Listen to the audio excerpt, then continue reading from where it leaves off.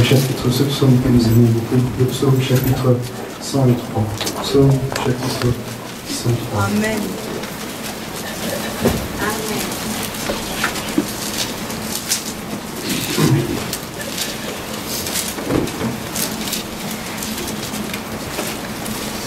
Nous lisons la parole du Seigneur.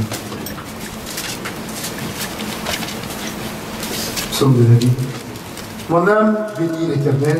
Amen. Que tout ce qui est en moi bénisse son saint nom. Amen. Mon âme bénit l'Éternel et n'oublie aucun de ses bienfaits. C'est lui qui pardonne toutes tes iniquités, qui guérit toutes tes maladies. C'est lui qui délivre ta vie de la fosse, qui te couronne de bonté et de miséricorde. C'est lui qui rassasie de bien ta vieillesse, qui te fait rajeunir comme l'aigle. L'Éternel fait justice, il fait droit à tous les opprimés. Il a manifesté ses voies à Moïse, ses œuvres aux enfants d'Israël. L'Éternel est miséricordieux et compatissant, lent à la colère, mais riche en bonté. Il ne conteste pas sans cesse, il ne garde pas sa colère à toujours. Il ne nous traite pas selon nos péchés, il ne nous punit pas selon nos iniquités. Mais autant les cieux sont élevés au-dessus de la terre, autant sa bonté est grande pour ceux qui le craignent. Autant l'Orient est éloigné de l'Occident, autant il éloigne de nous nos transgressions. Comme un père a compassion de ses enfants, l'Éternel a compassion de ceux qui le craignent. Car il sait de quoi nous sommes formés. Il se souvient que nous sommes poussière. L'homme, ses jours sont comme l'herbe. Il fleurit comme la fleur des champs. Lorsqu'un vent passe sur elle, elle n'est plus. Et le lieu qu'elle occupait ne la reconnaît plus. Mais la bonté de l'Éternel dure à jamais. Pour ceux qui le craignent. Et sa miséricorde pour les enfants de leurs enfants. Pour ceux qui gardent son alliance et se souviennent de ses commandements, afin de les accomplir. L'Éternel a établi son trône dans les cieux et son règne domine sur toutes choses. Bénissez l'Éternel, vous ses anges, qui êtes puissants en force et exécutez ses œuvres, ses ordres, en obéissant à la voix de sa parole. Bénissez l'Éternel, vous toutes ses armées, qui êtes ses serviteurs et qui faites sa volonté. Bénissez l'Éternel, vous toutes ses œuvres, dans tous les lieux de sa domination. Mon âme bénit l'Éternel. Amen. Amen. Car Dieu est un Dieu puissant, il règne de son salut avec sagesse, amour, il Dieu est un Dieu puissant. Est un Dieu puissant, il règne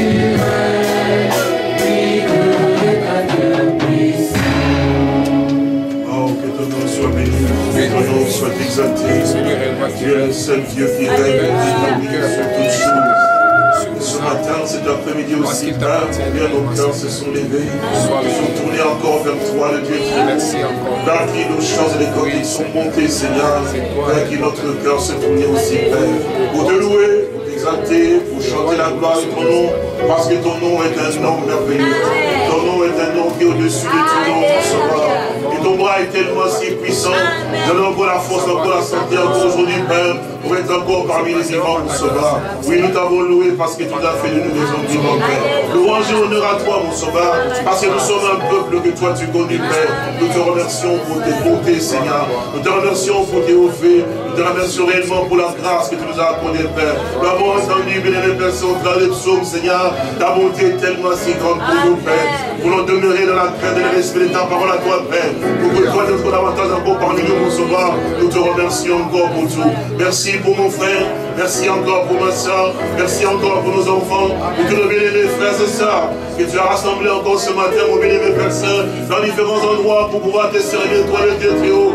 Combien nous aimons te servir, toi le Dieu très haut. Béni sois-tu encore pour ce jour, Père. Nous avons la grâce d'être rassemblés entre nous pour te servir, toi, le Dieu vivant, Seigneur. Nos cœurs cherchent ta face, mon bien-aimé Père. Nous désirons te voir à l'heure, mon bien-aimé Seigneur. C'est le désir pour notre cœur, mon bien-aimé Père puissant, te voir, toi, dans notre vie. Béni sois-tu encore, mon Père, pour ton amour à notre endroit, mon bien-aimé Père Saint. Oh, que ton nom soit béni. Nous te remercions encore pour ces instants, Père, pour chaque frère et chaque soeur, nos enfants aussi, quand nous avons ainsi prié, Père Saint, au nom du Seigneur et Sauveur Jésus-Christ. Amen. Que le nom du Seigneur soit béni. Vous pouvez vous asseoir.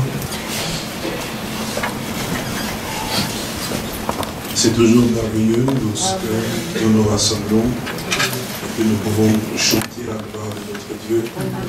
Nous souvenons tout le bienfait qu'il nous a donc accordé de la grâce de pouvoir réellement aussi être appelé de son nom et porter ce nom effectivement tout au long de notre pèlerinage sur la terre. Car nous sommes réellement des étrangers et des voyageurs. C'est pourquoi nous nous préparons parce que nous savons qu'un jour nous devons rentrer chez nous. Nous sommes des étrangers et si nous sommes des étrangers, nous avons donc un chez nous. C'est pour cela que nous devons réellement savoir d'où nous venons. Et sur la terre, les hommes ne savent pas où est-ce qu'ils viennent, où est-ce qu'ils vont. Et beaucoup pensent que la finalité, c'est d'être dans ce monde, de manger, de boire et puis de pouvoir aussi s'endormir et, et aller travailler demain et recommencer effectivement la même chose. Et nous avons trouvé grâce aux yeux du Créateur. C'est lui qui est l'auteur de tout ce qui nous environne, de tout ce qui fait partie aussi de, de nous, effectivement, en tant qu'être humain, de pouvoir s'être révélé à nous. Et cela est aussi une grâce de sa part, parce que, comme l'Écriture le fait savoir, il a donc caché lui-même ces choses aux sages et aux intelligents, mais il a révélé effectivement aux enfants. C'est pourquoi nous sommes appelés à pouvoir être dans cette simplicité de choses et surtout ne pas nous prendre tellement si haut, mais davantage réellement garder des sentiments modestes pour que le Seigneur trouve son chemin pour chacun de nous et qu'il opère effectivement à nous. Nous voulons vraiment lui implorer la grâce de nous garder effectivement au stade où, où il peut davantage nous parler que nos cœurs puissent réellement avoir la possibilité de pouvoir entendre et obéir. Et surtout, ne pas s'habituer avec les choses de Dieu, mais prendre part effectivement au jour le jour avec ce que le Seigneur, notre Dieu, est en train de faire. Nous le remercions réellement parce que il a plu à ses dieux de pouvoir aussi nous ouvrir les yeux et nous introduire effectivement dans son plan, dans son programme qui est en train de pouvoir se dérouler sur cette terre, alors que le monde a ses programmes et ses projets aussi des grandes dimensions, des grandes tailles, effectivement, il ne voit pas en réalité ce que le Dieu du ciel a eu à pouvoir déployer réellement comme programme aussi qui arrive certainement aussi à sa fin. Nous sommes réellement informés par Dieu de ce qui va réellement aussi se dérouler et se passer.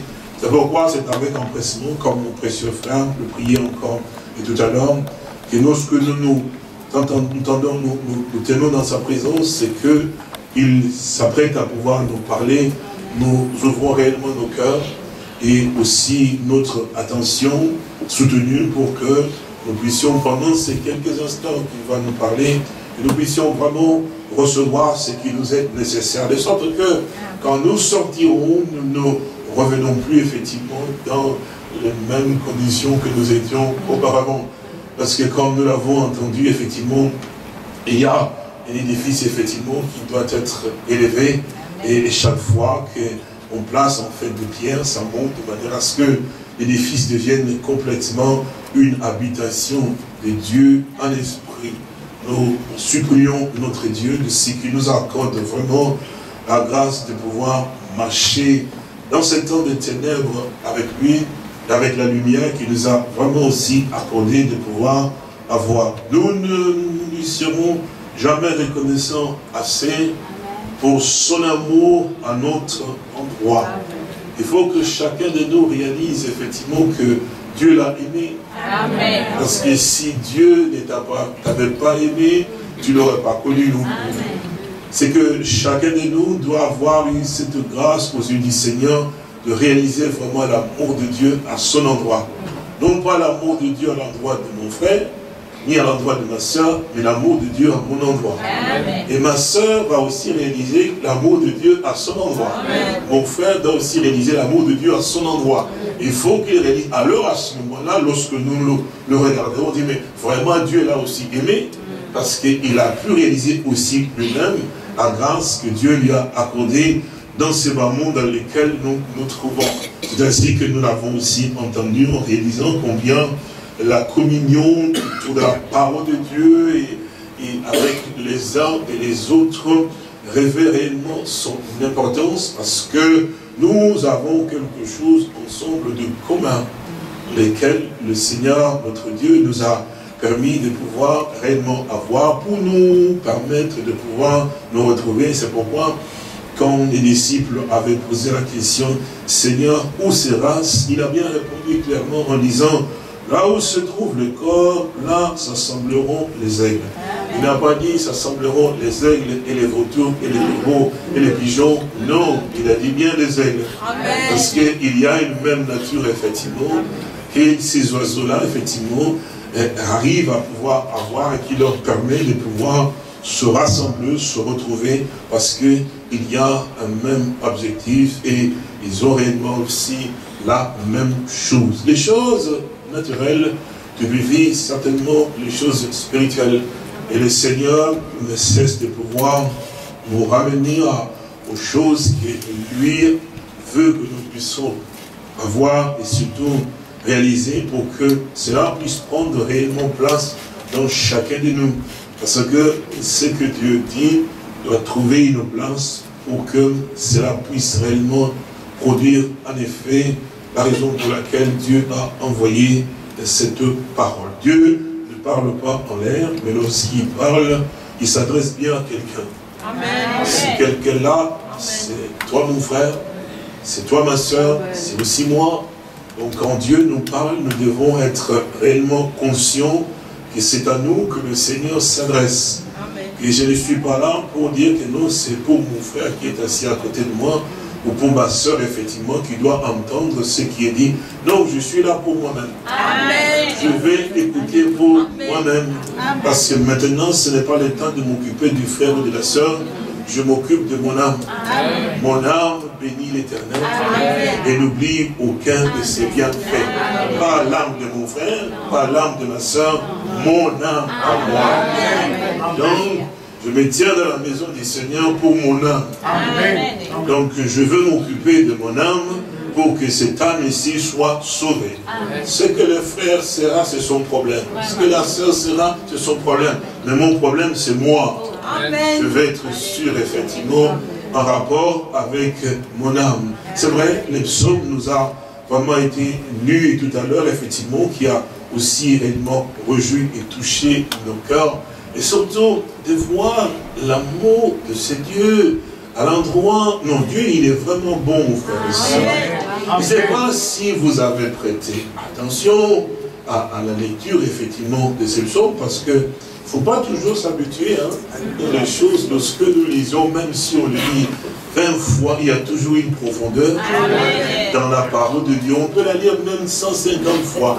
Et il sera toujours vivant dans la parole de Dieu. Il y aura toujours quelque chose qui va sortir pour nous réjouir effectivement lorsque nous considérons cette parole et lorsque nous prêtons vraiment attention à cela. Alors, je crois que, dit les psaumes, effectivement, juste euh, une, une, partie effectivement de ce que notre euh, notre frère a lu tout à l'heure. Et, je crois que c'est au verset, verset 17, et c'est psaume 103, verset 17, il dit, mais la bonté de l'éternel dure à jamais pour ceux qui le craignent. Amen.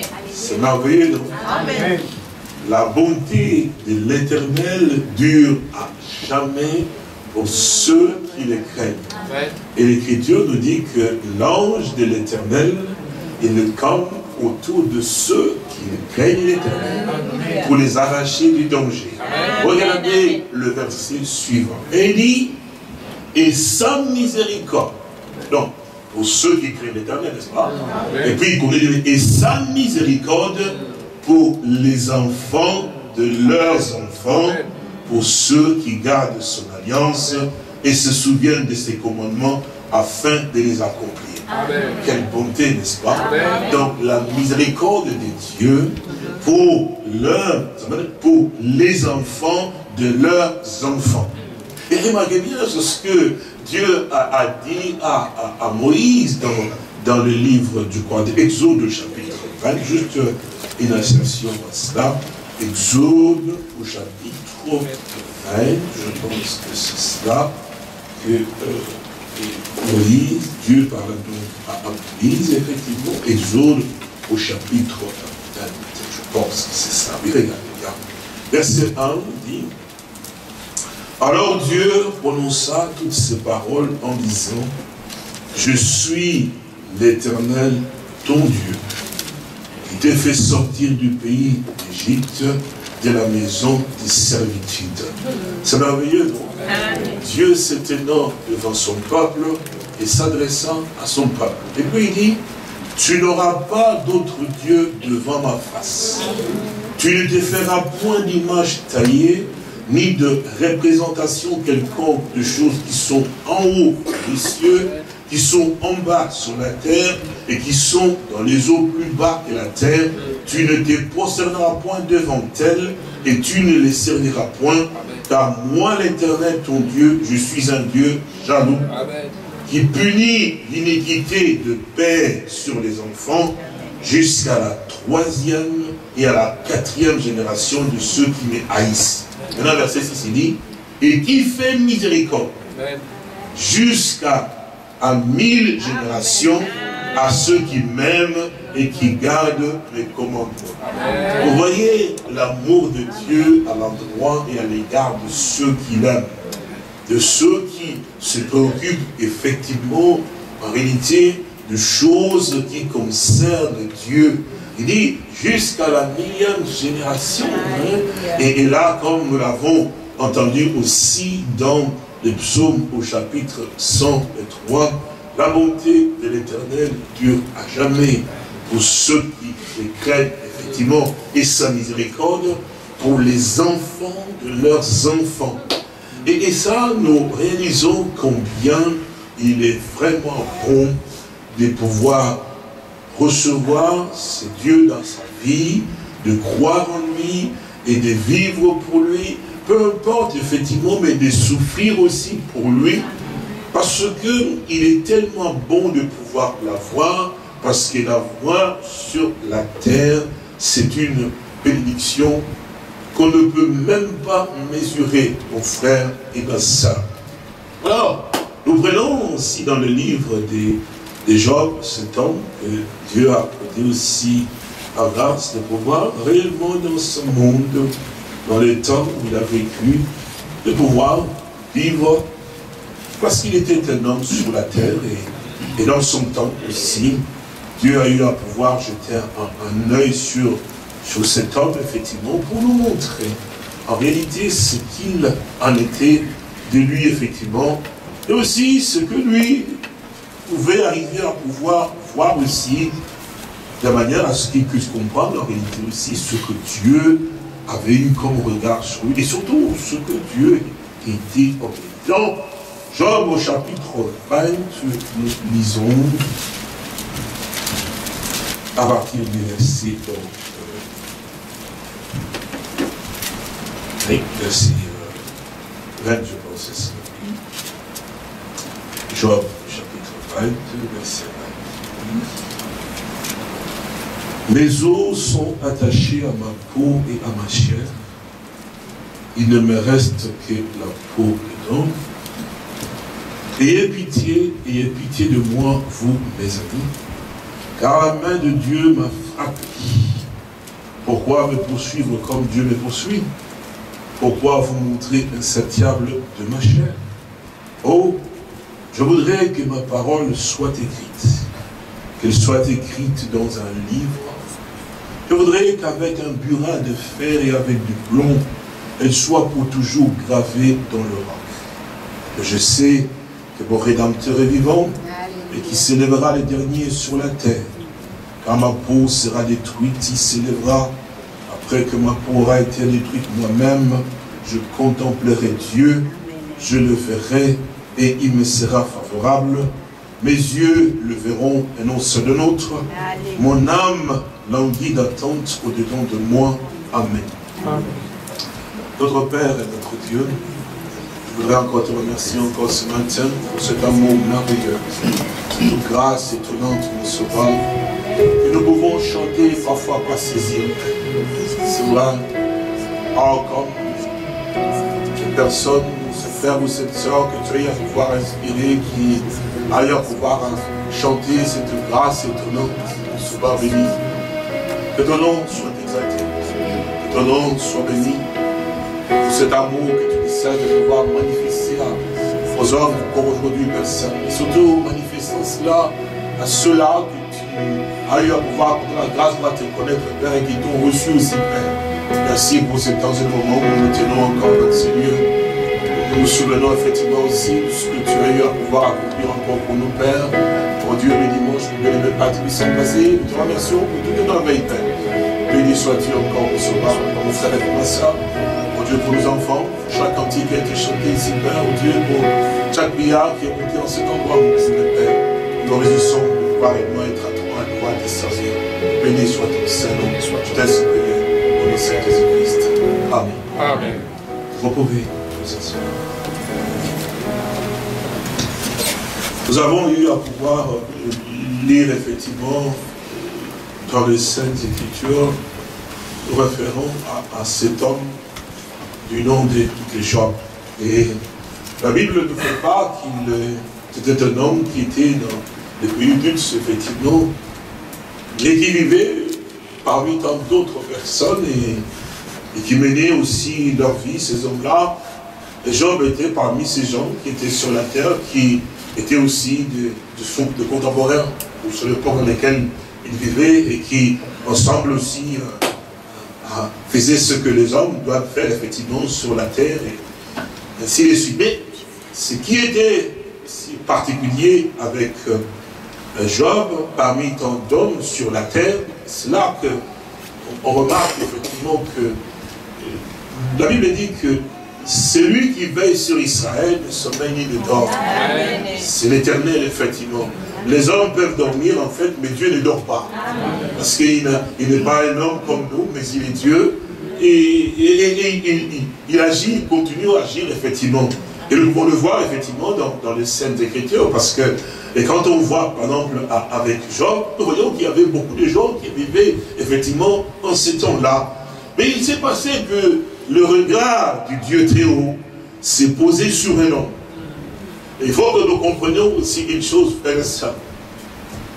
Quand Salomon a, eu à pouvoir prier, donc quand il a bâti effectivement le temple, il a dit, mais quelle maison pourrais-je te bâtir pour que tu habites, ô éternel, notre Dieu?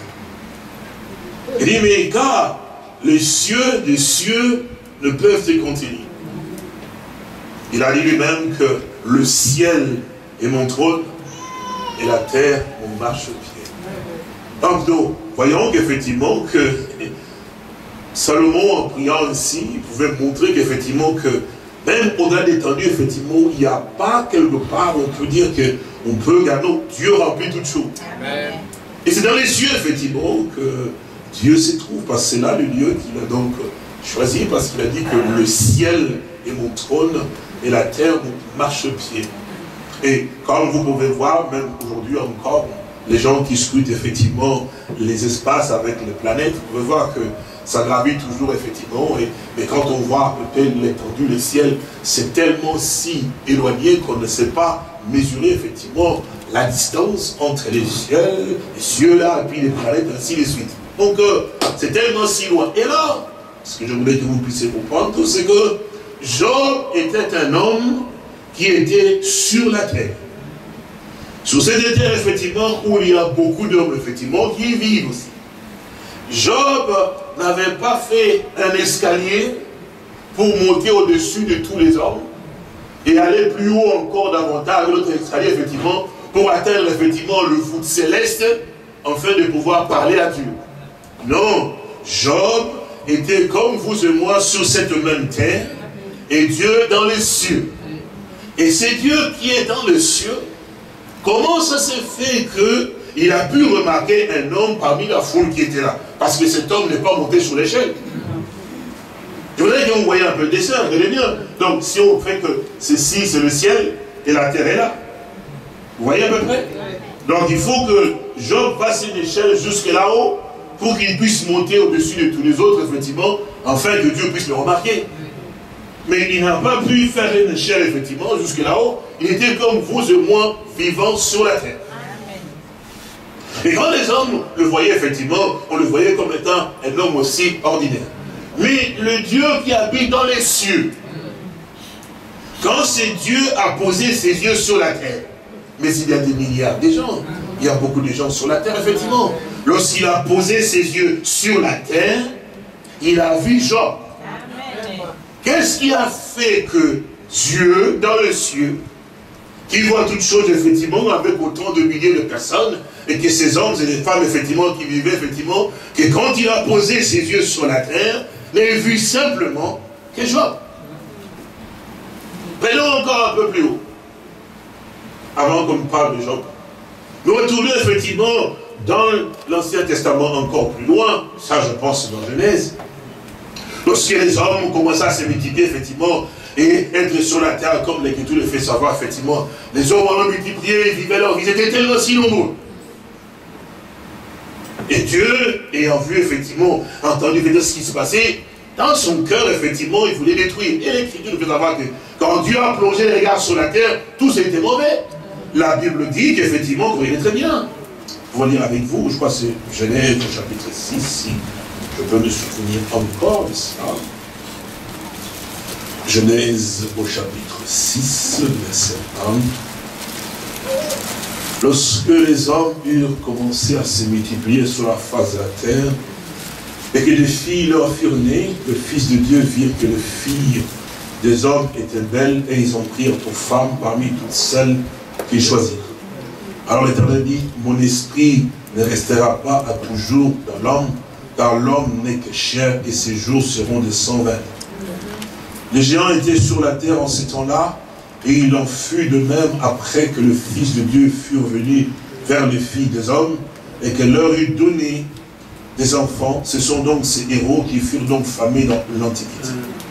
L'Éternel vit que la méchanceté des hommes était grande sur la terre, et que toutes les pensées de leur cœur se portaient chaque jour uniquement vers le mal, l'Éternel se répandit d'avoir fait l'homme sur la terre, et il fut affligé en son cœur, et l'Éternel dit, j'exterminerai de la face l'homme que j'ai crié depuis l'homme jusqu'au bétail, aux reptiles et aux oiseaux du ciel, car je me repens de les avoir fait. Amen. Donc effectivement, sur cette terre-là, où les hommes vivaient effectivement, eh bien, quand Dieu a eu à pouvoir il a vu que le cœur de tous ces hommes-là s'est tourné vers le mal, effectivement, et il voulait détruire tous les hommes. Maintenant, quand il a jeté ce regard sur la terre, il y a quelque chose qui l'a stoppé. Ce qui l'a stoppé, c'était un homme. Cet homme n'avait pas fait une échelle de la terre jusqu'au ciel, pour se faire remarquer à Dieu. Non, messieurs, cet homme, effectivement, vivait sur la terre, comme tous les autres, effectivement, avec ses contemporains, comme Job vivait sur la terre, avec aussi ses contemporains, comme il vivait aussi, effectivement, cela. Mais lorsque le regard de Dieu s'est pointé sur la terre, il y a une différence qui s'est marquée.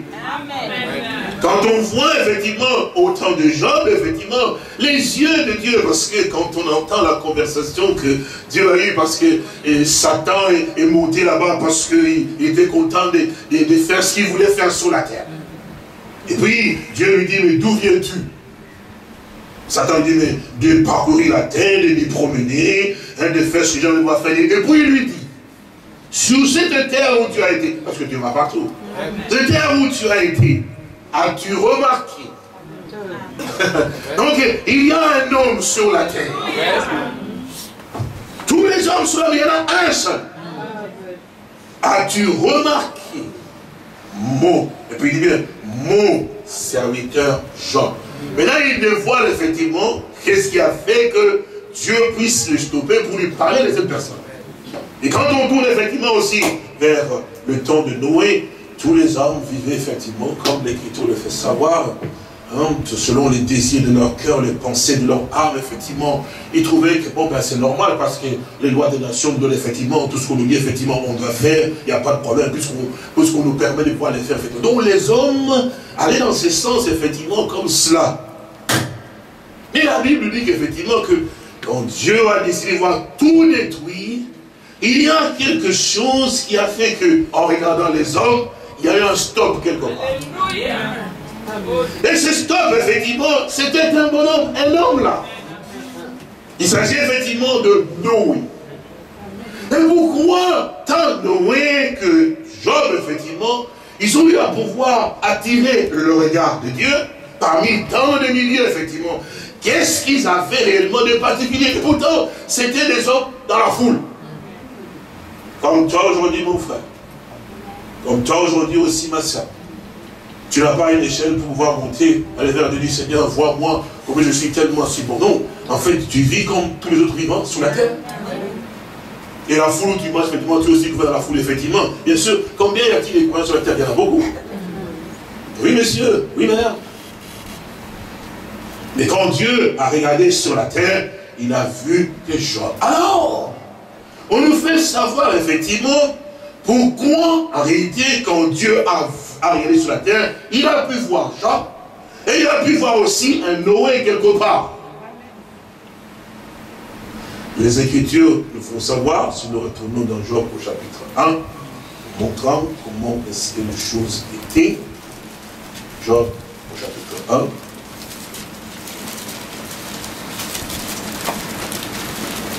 Verset 1, il dit il y avait dans le pays d'Ux un homme qui s'appelait Job. Et cet homme était intègre et droit. Il craignait Dieu et s'est détourné du mal. Vous avez entendu? Je redis encore. Il y avait donc dans le pays d'Ux un homme qui s'appelait Job. Et cet homme était intègre et droit.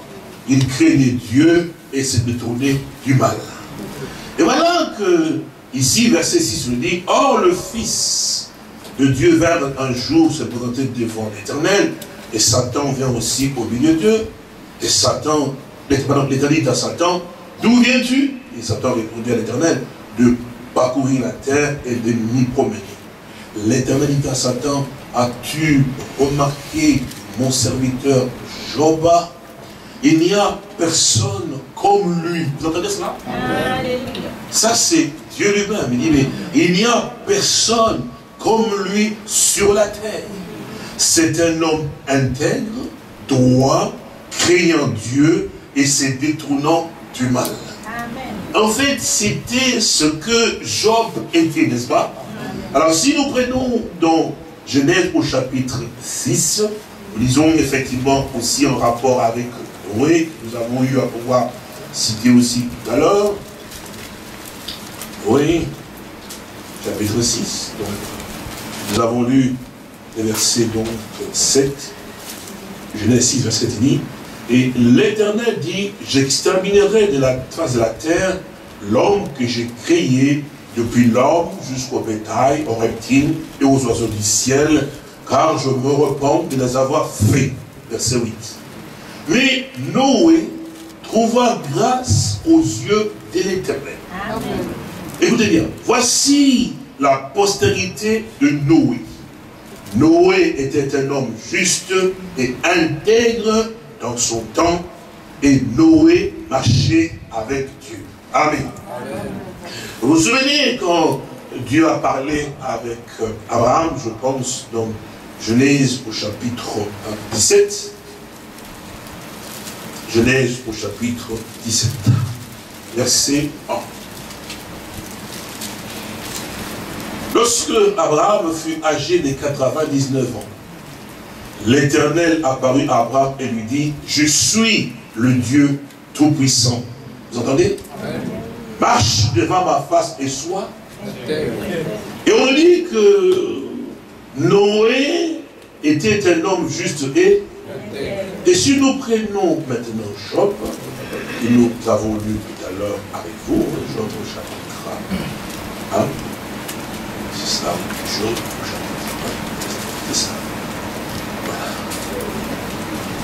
On dit, il y avait dans le pays d'Uz un homme qui s'appelait Job, et cet homme était et droit, n'est-ce pas? Elle craignait Dieu et s'est détournée du mal. Donc nous voyons que ces deux personnes avaient le même caractéristique en eux. C'est que ce qui était dans Job, malgré les temps dans lesquels il était. Et quand on a vu effectivement dans Noé, malgré le temps et aussi l'influence du monde dans lequel il était, on a trouvé, votre attention, on a trouvé le même caractéristique tant dans Noé et aussi dans Job, effectivement. Donc sur la terre, effectivement, et c'est quelque chose qui était tellement si important que ça a attiré le regard de Dieu. Quand Dieu regardait sur la terre, effectivement, c'était la nature de ces hommes-là. Qui a fait que quand Dieu a regardé sur la terre, il y a eu une attraction, en fait. Il fait que Dieu regardant, il dit, mais il y a quelque chose qui attire. Qu'est-ce qu'il a pu attirer Dieu, effectivement? Mais c'est Job, effectivement. Qu'est-ce qui a pu attirer Dieu, effectivement? C'est Noé, effectivement. Vous avez souvent entendu, la Bible nous fait savoir que la profondeur appelle la profondeur.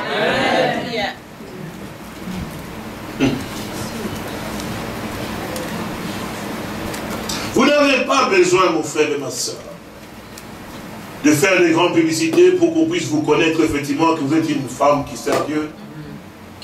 Ou un grand prédicateur de Dieu que quand vous passez quelque part, effectivement, les journaux vous suivent, les télévisions vous suivent. Vous n'avez pas besoin de ça. Parce que ce n'est pas un homme ou une femme qui peut faire ta promotion dans les choses de Dieu. Non, monsieur. J'ai toujours eu à pouvoir le dire, il faut que ça rentre en vous. Le peuple qui est avec vous aujourd'hui, demain il va vous haïr. Tous ceux qui vous applaudissent aujourd'hui, oh, c'est un grand homme de Dieu. Demain, ils vous abandonneront.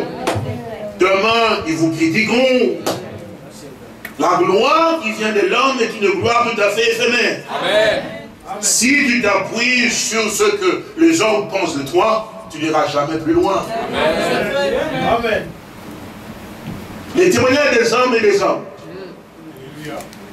Et c'est donc toi, mon frère, je voudrais que vous diminuiez un tout petit peu le volume. C'est donc toi, mon frère, et toi, ma soeur, nous tous, en tant qu'enfants de Dieu, dont nous avons besoin, ce n'est pas ce que l'homme peut penser de moi. Amen. C'est que moi, et vous devons chercher, c'est ce que Dieu pense de toi et de moi. Noé, dans son temps, quand il vivait, il n'a pas cherché les éloges qui venaient des hommes. Parce que s'il cherchait les éloges qui venaient des hommes, Dieu n'allait pas le voir. Pourquoi? Parce que son cœur n'était pas droit. Amen. Quand tu as un cœur qui est droit, tu ne cherches que les choses qui sont droits. Et tu poses effectivement les actes effectivement qui sont droits. Et Dieu voit le cœur droit. Il dit c'est un homme intègre et droit. Quand Dieu dit qu'il est droit, il était droit. La même manière aussi qu'avec Noé en son temps. Noé ne faisait pas pour que les gens disent qu'il est différent, il est ceci, pour dire que moi je suis un homme de Dieu. Non, monsieur. Noé, il vivait effectivement la chose parce que pour Noé, c'était juste. Pour Noé, c'était la chose à pouvoir réellement faire, effectivement, parce qu'il réalisait que ceci est juste, cela ne l'est pas. Parce que le mal, le mal influence beaucoup plus. Amen. C'est vrai, frère et sœurs. C'est pourquoi la Bible dit que les mauvaises compagnies corrompent souvent les bonnes mœurs? Et cet homme vivant dans son temps, effectivement, oui, comme l'Écriture le fait savoir, transportons-nous, et certainement dit, mais le cœur de tous ceux qui vivaient avec lui était journalièrement, tous les jours, constamment tourné vers le mal. Et pourtant, c'était un homme de la même nature qu'effectivement, de lui-même aussi. Donc un, homme qui avait le même de effectivement, mais il avait quelque différent par rapport aux autres. C'est ça qui a fait que lorsque Dieu a regardé, Dieu a pu le remarquer parmi tant d'autres. Vous n'avez pas besoin de grande publicité, mon frère et ma soeur. Vous avez besoin simplement que la parole que Dieu vous a donnée, la parole que Dieu vous donne, qu'elle trouve simplement sa place. Vous n'avez pas besoin de jouer à la comédie, frère et soeur. Vous n'avez pas besoin de faire des choses pour qu'on voit que tellement spirituel. Ce n'est pas nécessaire. Ce qui est important et qui attire Dieu, ce n'est pas ce que vous faites pour qu'on voit, mais c'est ce que Dieu fait en vous. Parce que quand Dieu a tourné les regards, effectivement, pour voir, qu'est-ce qui a fait que son cœur soit touché C'est parce qu'il a retrouvé c'est que lui, il est dans la personne qui était là. Il avait dit que Noé, c'était quoi? Noé en son temps, il marchait avec Dieu. Si ces ventilateurs pouvaient aussi venir ici, je crois qu'ils s'arrêtent quelque part, effectivement, en faisant mi-chemin. Mon frère Christian, si tu as trop chaud, va t'asseoir là-bas, avec climatisation qui est là, comme ça, tu peux te sentir bien aussi. Merci. Et c'est pour ça que je suis tenté de brûler ici. Tiens, c'est bizarre. Je donne un coup d'œil, je vois qu'il s'arrête là, et puis il vient, il fait sa pause là, et puis il s'arrête là. Je dis, maintenant je compris. Qu'est-ce qu'il a mis, évidemment, avec mon frère Il gris, alors je vais le mettre d'un grand.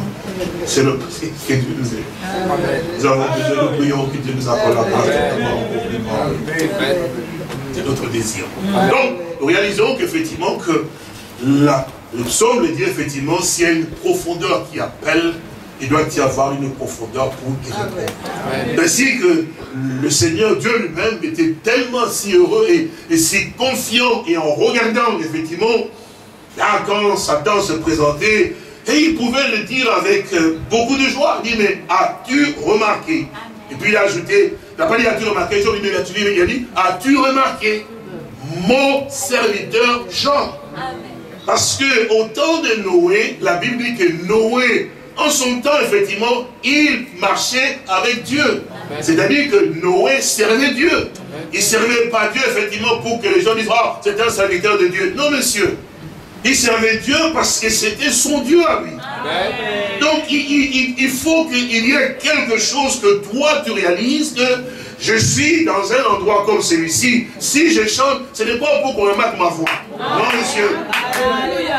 Si je fais ça, c'est pour qu'on voit que j'ai fait quelque chose. Non, je le fais parce que c'est Dieu mon Dieu. Donc je viens, je viens, s'il vous plaît, je viens parce que je veux servir. Je ne vais pas servir fessées. Non, monsieur. Je viens servir Dieu.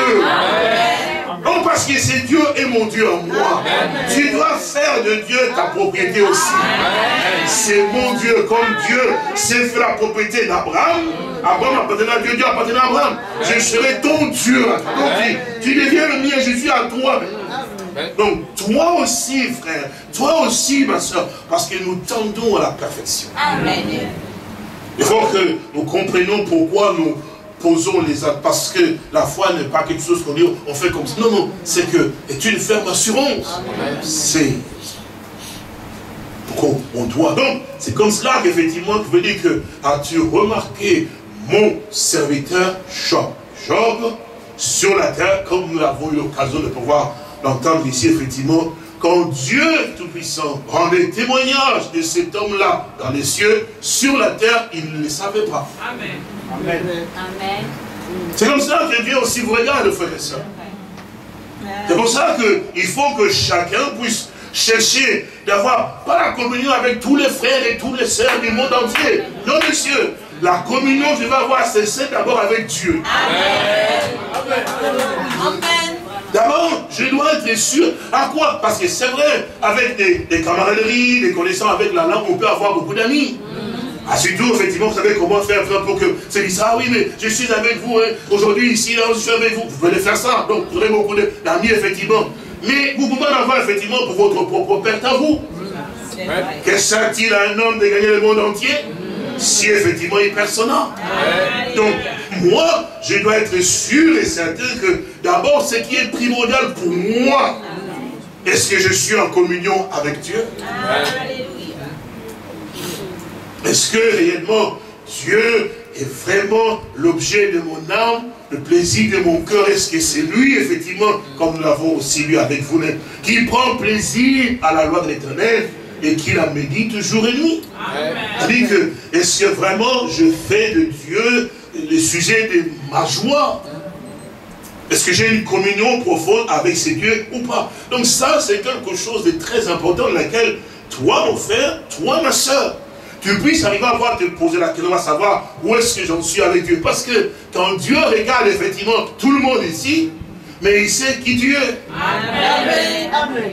Les gens que nous voyons tous ici, ça, on, peut, on peut mettre en fait enfin, soit une robe effectivement qui montre que nous sommes saints, soit effectivement un costume qui montre que nous sommes saints, mais au-dedans, en réalité, nous ne sommes pas l'image que nous montrons effectivement aux hommes. Mais ce qui est important, effectivement, c'est ce qu'il y a au-dedans, que Dieu voit. C'est pourquoi nous dit qu'il ne faut pas qu'on fasse notre justice pour que tout le monde voit qu'il a fait non. Pour clamer j'ai fait, j'ai fait non. Quand tu fais, fais simplement ce que ta main droite fait, ta main gauche ne sait pas. Donc effectivement, quand tu fais ça, la récompense elle est grande. Et quand tu fais que les deux mains voient, effectivement, tu es supporté par les hommes. Est-ce que vous comprenez? Donc c'est comme cela qu'était cet homme sur la terre. De la même manière, parce que vous voyez que qu'il y avait une influence effectivement aussi forte du mal au temps du monde. Chaque jour et journellement, les pensées des cœurs des hommes étaient tournées vers le mal. Et tout ce qui faisait effectivement, c'est du mal, effectivement.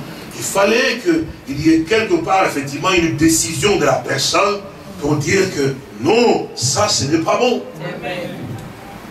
N'oubliez jamais ceci, mon frère et ma soeur. Devenir croyant, Dieu ne vous a jamais obligé. Amen. Amen. Alléluia. Et aussi, mon frère et ma soeur, pour mettre la parole de en pratique, Dieu ne vous obligera jamais. Amen. Si un prédicateur vous dit que vous êtes obligé pour aller au ciel de faire ça, de faire ceci, ce n'est pas vrai. Amen.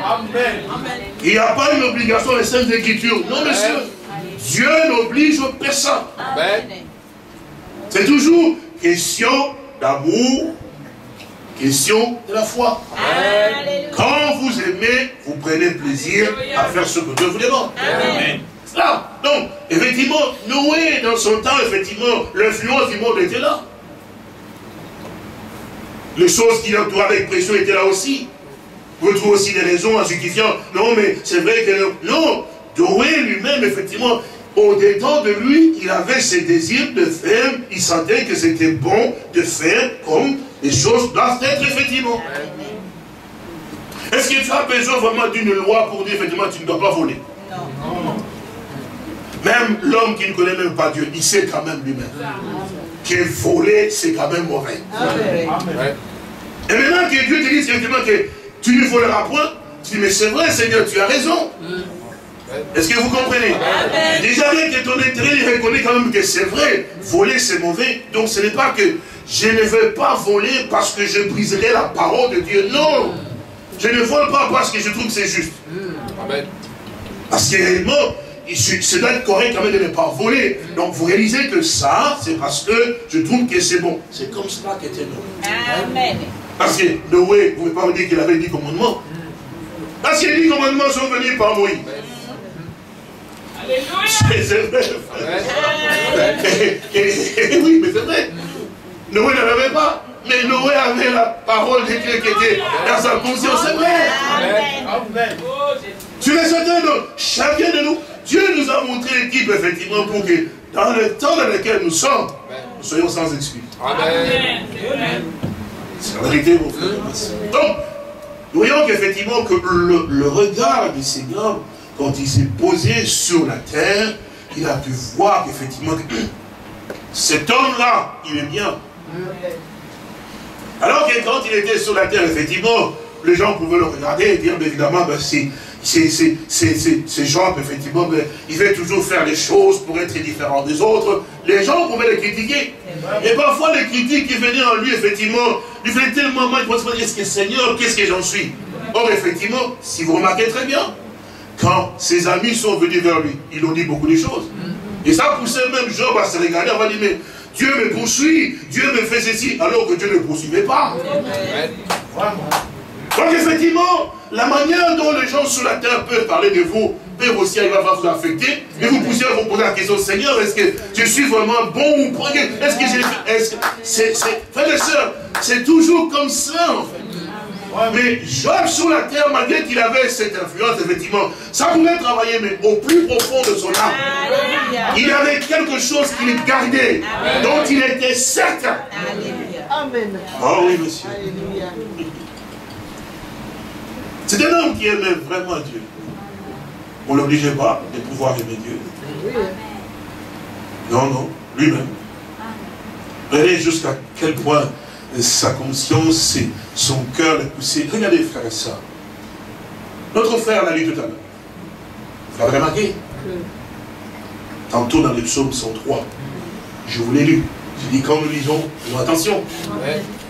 Qu'est-ce qu'il était écrit dans le psaume 103 Apprenons-le, regardez bien. Nous avons lu tout à l'heure avec vous, hein, psaume 103.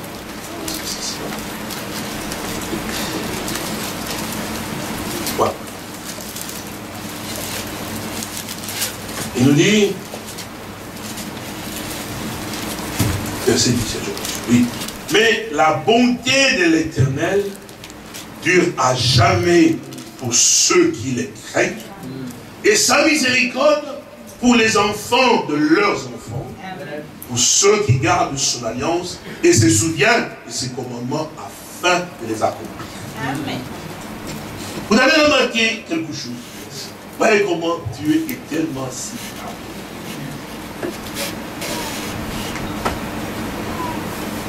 On a dit déjà ce qui a été dit de lui, effectivement, Regardez effectivement la nature d'un homme qui a cette chose de Dieu au-dedans de lui, effectivement, et qui marche effectivement avec Dieu, comment Dieu fait les choses? Ah Il aimait tellement Dieu qu'il s'est donné effectivement dans les choses de Dieu, et malgré qu'il avait de bien, comme nous pouvons voir, le cœur de Job n'était pas dans ses biens. Amen. C'était là, c'est là la grâce que Dieu accorde à un homme quand il devient croyant. Quand on ne croit pas, effectivement, on, a, on met en fait l'importance, effectivement, au bien matériel qui nous entoure, effectivement, parce que pour les gens sur la terre, le fait de pouvoir posséder la richesse, c'est une grande bénédiction, effectivement, ça montre, effectivement, ainsi, ainsi. Et puis bon, le fait d'avoir aussi des biens, effectivement, pour un homme, c'est la finalité d'un homme sur la terre.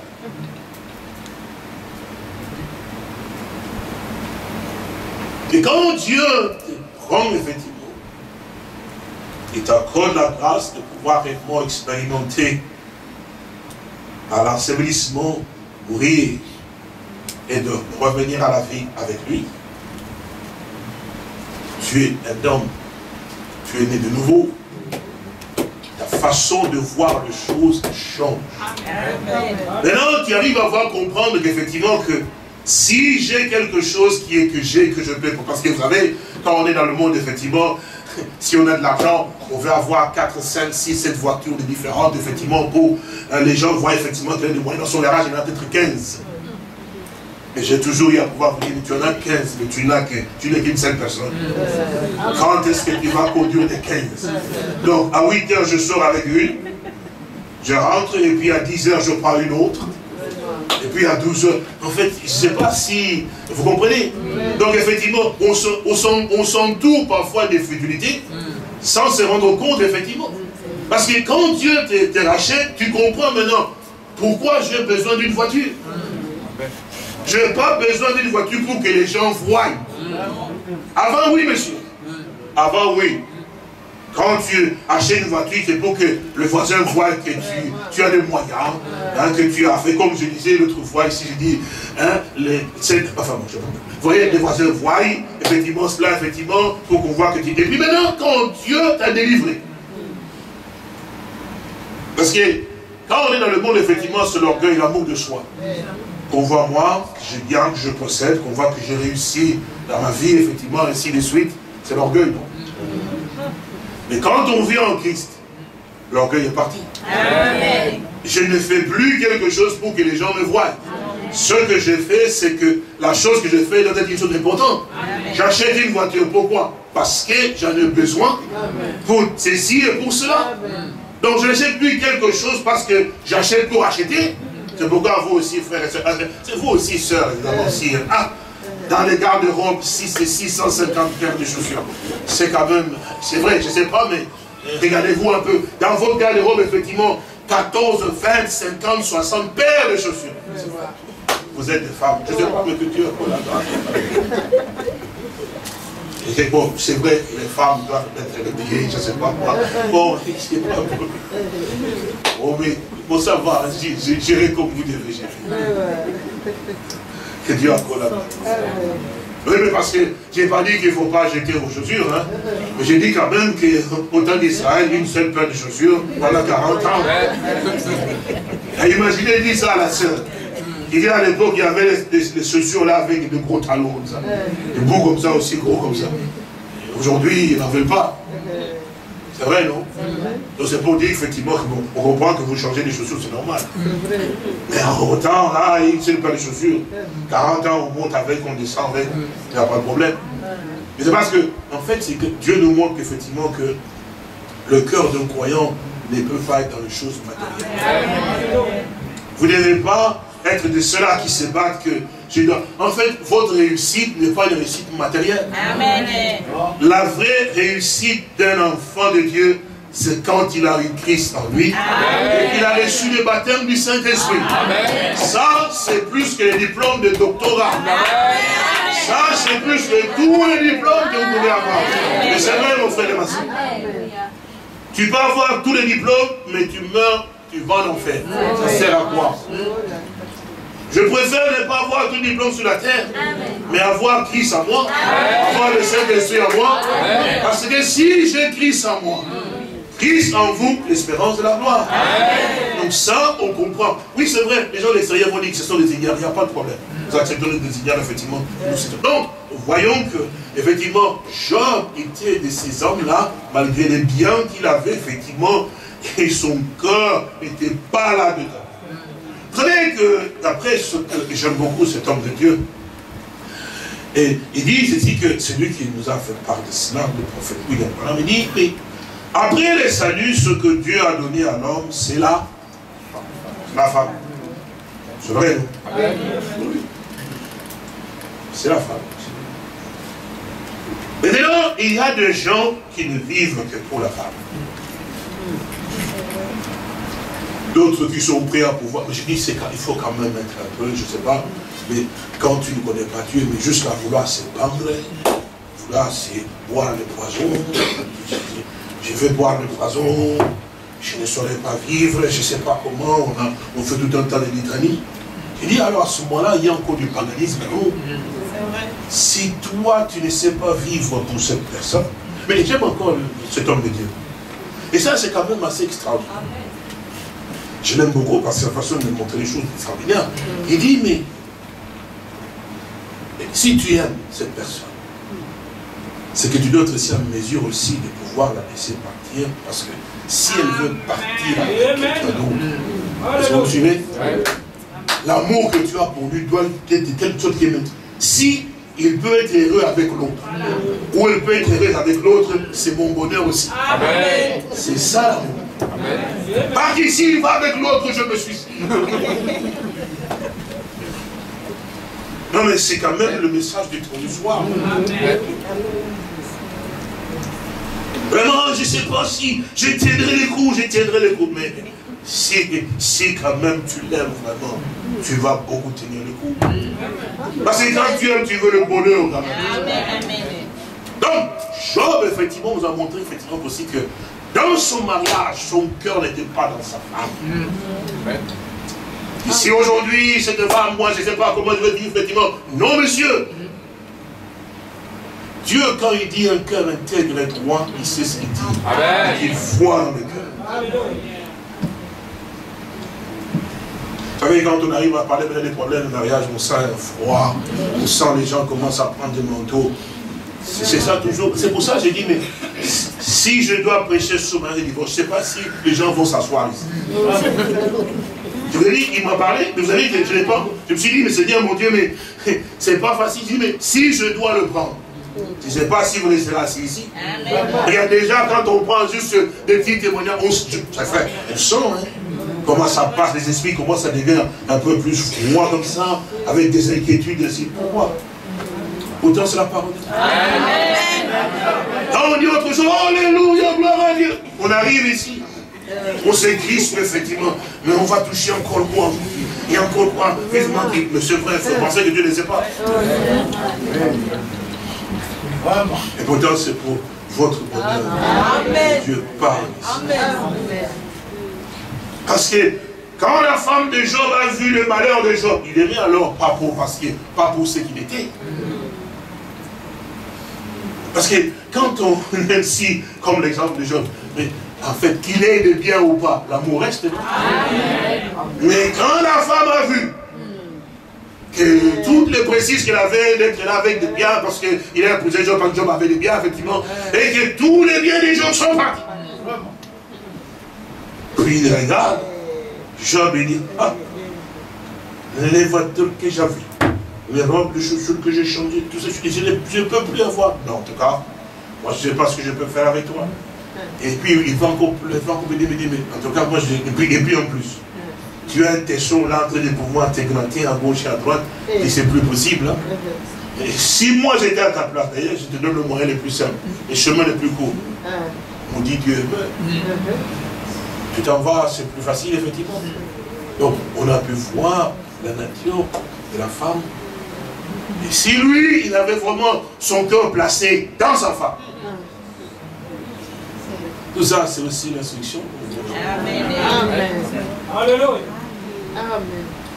Que Dieu nous aide, mon frère. Amen. nous apporte vraiment la grâce pour que nous sachions où est-ce que nous en sommes. Et surtout avec Dieu, effectivement, parce qu'on se met trop de, de plâtre.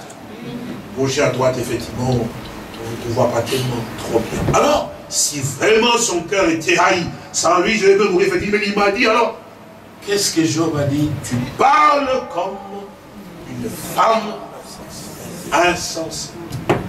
Amen. Amen. Donc, l'homme a su remettre la femme à sa place, effectivement. Il dit, Dieu a donné. Mais il parle ne pourrons-nous pas aussi, car aussi bien que nous recevons les biens de Dieu, et si Dieu nous donne aussi des mots, ne pouvons pas aussi accepter cela En cela, Job ne pécha Amen. Vous savez, frères et sœurs, il y a encore du travail. Donc chacun qui doit être fait. Un travail de sanctification, de purification, effectivement, pour que tout ce qui est encore beaucoup plus important dans la pensée, dans la conscience, le subconscient, aussi longtemps que c'est là, mon frère et ma soeur, Dieu ne peut pas prendre totalement possession de vous. Pas possible. Et la plénitude, effectivement, vous ne pouvez pas, effectivement, expérimenter, monsieur. Voilà. C'est sûr et certain. On ne peut pas mettre du vin nouveau dans des vieilles Il faut que ce soit des outres Parce que quand on parle de la plénitude, c'est-à-dire que tout remplit. Amen. Il n'y a rien donc qui il y a encore des quelques. Non, non, tout est tout dedans, effectivement. Donc, toute la plénitude de la divinité, C'était en Jésus-Christ, non? Donc il n'y avait rien de lui en dehors. C'était Dieu là-dedans. Alors nous sommes appelés aussi à voir la. Est-ce que vous le croyez Amen. C'est écrit noir sur blanc dans le Vous voulez lire sinon Amen. Voilà, monsieur. Parce qu'il faut que toutes ces choses, effectivement. Donc, nous voyons que, regardez comment Job était donc cet homme, alors montrant effectivement que son cœur n'était pas dans le bien. Il avait bien compris qu'effectivement que nous en avons sur la terre, si je les ai, c'est bien. C'est pour un usage temporaire pour un temps. Mais je ne peux pas tuer quelqu'un parce que c'est mon bien qu'il a pris, effectivement. Non, je dois comprendre, effectivement, que c'est pas ça la chose la plus importante. C'est ce que, ce qui est important, c'est de savoir maintenant qu'est-ce que j'ai fait avec ce que j'ai, à quoi ça sert. Effectivement, aussi, dans le cadre aussi de son mariage, il savait effectivement dans quelle dimension, jusqu'à quel point il y était. C'était pas plonger, plonger, on ne vit que plonger là-dedans. Il avait bien effectivement, on sait qu'on doit vivre, mais il y a d'abord quelque chose de très important, c'est que la place de mon Dieu. Dans mon foyer, où se trouve Dieu? Dans les mariages et l'entrepreneuriat, où se trouve Dieu? Comme je vois, il y a comme une folie dans ce qui va se faire. On dit parfois, mais mon frère, ma soeur, mais euh, stoppez-vous un peu, on a des conseils à vous donner. Oh, il devient sourd à ce moment. Tout d'un coup, la solitude vient et vous le voyez Hier, soeur, tu étais bien, vous faites mais aujourd'hui, tu deviens nerveux à peine que je t'appelle. Pour seulement donner un conseil, on voit le frère sous ses gardes, la soeur sous ses gardes. Hier, on était bien avec toi. Vraiment. Ce n'est qu'un conseil pour voir comment tu peux euh, faire pour ton mariage à toi. Oh non Et puis, on a déjà pris les dispositions. Les dispositions où vous avez la sangria là-bas, côté en dessous. Il y a un problème. Oh, vous savez, vous savez ça, vous savez, frère, c'est parce que les autres ont eu un pouvoir. Mais c'est pas normal. Je donne un exemple simplement. D'abord, comme vous savez, je l'ai toujours dit, hein, quand vous avez votre mariage, surtout quand vous avez une famille païenne qui veulent boire leur vie, n'avez pas les interdits parce qu'on n'oblige personne. Si vous me suivez? Mais là où le problème vient, c'est quand vous-même, sous prétexte que c'est la famille qui veut quand vous-même vous voulez aussi, et qui prenons l'exemple, effectivement, bon, vous savez quand même que vous êtes un, frère, une soeur en Christ, vous êtes mariés selon la parole de Dieu, avec notre joie, et vous arrivez là, la famille euh, euh, du monde est encore là, effectivement, on met cette musique-là, tu prends la soeur, et toi avec la soeur sur la piste, oh, on va ouvrir pour que les autres puissent aussi suivre. Mais non, quand même, mon frère, il y a des choses qu'on peut faire qu'on ne peut pas faire. Amen. Non, mais c'est ça, ce sont des choses qu'on doit savoir. Ce sont les mondiens qui ouvrent la balle. Moi, je suis là, je vous ai invité, vous êtes venus, vous voulez voir, pas de problème. Mais quand d'aller plus loin, non. Amen. Ça, c'est un enfant de Dieu. Ça, c'est un fils de Dieu. Mais parce que quand on vous invite, frère, viens, on va parler. non, non, non, non, non, on a déjà fait. Bon, qu'est-ce qu'il y a encore pour pouvoir nous embrouiller? Bon, on a déjà donné la date, effectivement, tout a été déjà fait. Il n'y a plus rien à ajouter. On ne veut rien ajouter, on veut être conseiller. Et souvent, ça, on devient sous bouchon aux oreilles ici, on ne veut plus rien entendre. Alors que Dieu veut que vous compreniez, effectivement. Parce que, regardez bien, c'est beau, hein vous avez fait, on a fait, on a bu et l'alcool de chèvre, c'est de chèvre. C'est très bon tout ça. Vous savez comment on fait? On vient avec l'alcool de chèvre du village, on te met dans le capot là. Tu mets aussi ici, oh, comme dans notre don. Lui, il boit, et toi, tu bois, je ne sais pas comment vous faites là. Donc le bras rentre là-bas, on passe. Et puis vous faites, c'est bien. Et puis, oh, lune de miel. Et puis quand vous avez la lune de miel, un mois après, vous avez lune de sauterelle. C'était lumière, là c'est comment ça Ah Il y a un problème, mais c'est vrai. Et il y a un... C'est vrai, frère et soeur. On doit arriver à pouvoir vraiment... L'enfant de Dieu a besoin de conseils. C'est lui qui n'écoute pas les conseils, fait dans l'âge de sa folie. Amen. C'est absolument important. Ça ne vous fait pas bien, mais c'est la parole de Dieu. Donc, nous voyons, c'est comme ça qu'on peut réaliser pourquoi le regard de Dieu se pose sur moi. Parce que dans tout ce que tu as, ce que tu veux faire, c'est toujours l'intérêt de Dieu que tu cherches. on ne t'oblige pas, mais en fait, toi-même, tu sens que, oh, oh, dans cette chose ici, effectivement, où sera l'intérêt de celui que j'aime? Pas ma femme, pas mon mari, mais celui que j'aime, c'est Dieu. Là, où, où est l'intérêt de mon Dieu à moi ici? Parce que quand je vais au mariage, où est l'intérêt de Dieu? Dans ce que je vais arriver à pouvoir aller au mariage. Amen. Vous savez que dans les Saintes Écritures, aïe aïe aïe, eh bien oui, mon frère. Si on lit ça, ils vont se dire, mon Dieu, mais c'est vrai ça. Dans les Saintes Écritures.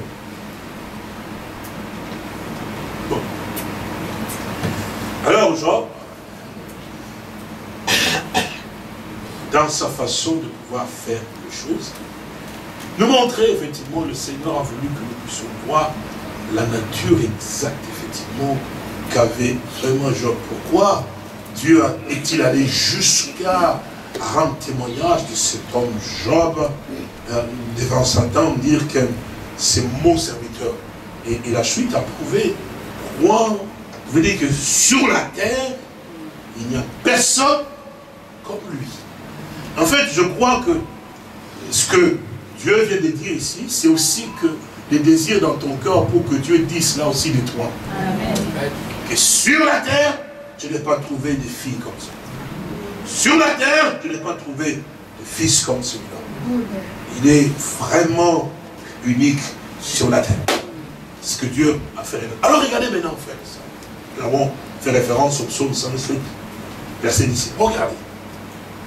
Tout homme qui aime tellement Dieu qui ne cherche que l'intérêt de Dieu dans ce qu'il fait, il a vraiment l'amour de Dieu dans son cœur pour les autres. Amen. Et ça, c'est vrai. Mais regardez bien, frère et soeur, non seulement pour les autres, effectivement, mais en fait, pour ceux qui concernent sa propre maison et sa propre famille. On ne peut pas obliger un croyant d'aimer effectivement ses enfants, d'aimer effectivement aussi ce, qui, ce que Dieu lui a donné. Parce que déjà, quand tu es croyant, lorsque Dieu t'accorde la grâce d'avoir des enfants, tu reconnais d'abord. Amen. Que ceci est une grâce. Amen. Que Dieu m'a accordé d'avoir ses enfants. Amen. Un, chrétien, un croyant ne maltraite pas ses enfants. Non. Non, monsieur. Les gens du monde, oui. Mais quand tu es dans la parole de Dieu, c'est pas possible que tu puisses maltraiter tes enfants. Non, tu dis d'abord que c'est ta postérité à toi que Dieu t'a donné. Que tu es censé de pouvoir en prendre soin. Quand vous venez avec euh, nos bébés ici, lorsque nous prions pour eux, nous prions pour que Dieu bénisse les parents, leur donne la possibilité, le moyen de pouvoir prendre soin d'eux, et de bien les éduquer aussi, effectivement. Parce que vous devez rendre compte de cela. Amen. bien sûr, bien sûr, parce que ce sont les enfants que Dieu vous a confiés, que Dieu vous a confié, alors à ce moment-là, alors il faut que les parents évitent. Que les parents évitent dans les maisons d'élever les enfants. Quand je dis élever, c'est-à-dire que Papa n'est pas bien avec moi. Tu es resté avec des enfants, tu es maman. Papa n'est pas bien avec moi. Votre père, je ne sais pas ce que je lui ai fait. Il est toujours comme ça, méchant, méchant. Il m'en veut, effectivement. Et puis papa vient aussi. Votre maman, je ne sais pas ce que je lui ai fait, mais toujours mauvais. mauvais. Donc, l'un veut avoir des enfants de son côté. L'autre aussi veut avoir des enfants de son côté. Qu'est-ce que vous faites avec cela? Vous faites pour votre bien. Vous dites que non. Comme ça, les enfants vont comprendre que moi, je vais leur bien. En fait, vous détruisez vos enfants. Amen. Ne faites jamais ce genre de choses. Et c'était aussi un exemple que je aussi ici. Quand nous disons que l'enfant de ma soeur Esther ici, c'est aussi mon enfant, c'est pas de l'air. C'est pas de l'air. C'est une chose qui est réelle. Donc si cet enfant de la soeur Esther est mon enfant, et que je vois que cet enfant a fait une bêtise ici, j'ai le droit de lui tirer les oreilles. Amen. Je sais que ça ne plaît pas beaucoup parce qu'il faut s'élever pour étrangler, il n'y a pas de problème. Je le dois parce que, alors, à ce moment-là, quand vous dites que l'enfant de la sœur Esther est le mien, l'enfant entend. N'est-ce pas vrai? Enseigne à l'enfant de bas ce qu'il doit être. Il ne va pas s'en détourner. Donc maintenant, moi, je dis que c'est mon enfant, je vois qu'il fait, mais je le prends parce que Ici, chez nous en Europe, on dit qu'il ne faut pas frapper. La Bible dit qu'il faut frapper. Il faut le fouet parce que la folie est attachée au cœur de l'enfant. Et eh c'est le fouet qui va l'enlever. Donc je prends l'enfant, je donne une fessée, effectivement, je tire les oreilles, effectivement. Et quand la soeur se le dit, comment mon enfant? Tu touches à mon enfant, c'est la mienne. J'ai dit, soeur, viens. Frères et soeurs, venez, on va prier pour le délivrance. Évidemment, parce que notre soeur, et ne sait pas si notre soeur ou pas. Donc, quelque part, il y a un esprit mauvais qui est entré. Parce que si elle était ma soeur, elle a compris, alors je saurais que ce que je fais, c'est pour le bien de mon fils. Donc, cet enfant, s'il le reprend, il doit savoir que c'est aussi mon père. Donc, là, s'il le fait mal, il me reprend. Il aura beaucoup de respect. L'équilibre étant, alors l'enfant sera heureux. Il verra qu'il va le respecter. Pourquoi? Parce que la maman agit de la même manière. Je dis, mon enfant, c'est mon enfant. Il faut dire, oh, j'ai compris. Maintenant, quand il m'a dit, hé, hé, maman, hé, hé, papa, et frère Christian, oh, frère Christian.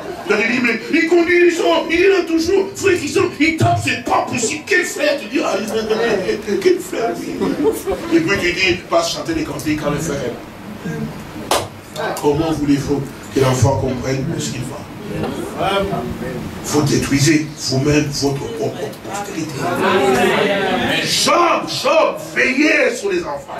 Pas dans les mauvais sens, mais il faut aider. Mais quand les mal étaient faits, il les appelait. Il dit, souvenez-vous qu'il s'agit des dieux. Et des enfants, effectivement. Donc, toujours tourner les enfants vers la chose droite. Il avait un cœur droit. Il n'opposait pas les enfants avec ceci. Non, non, toujours droit.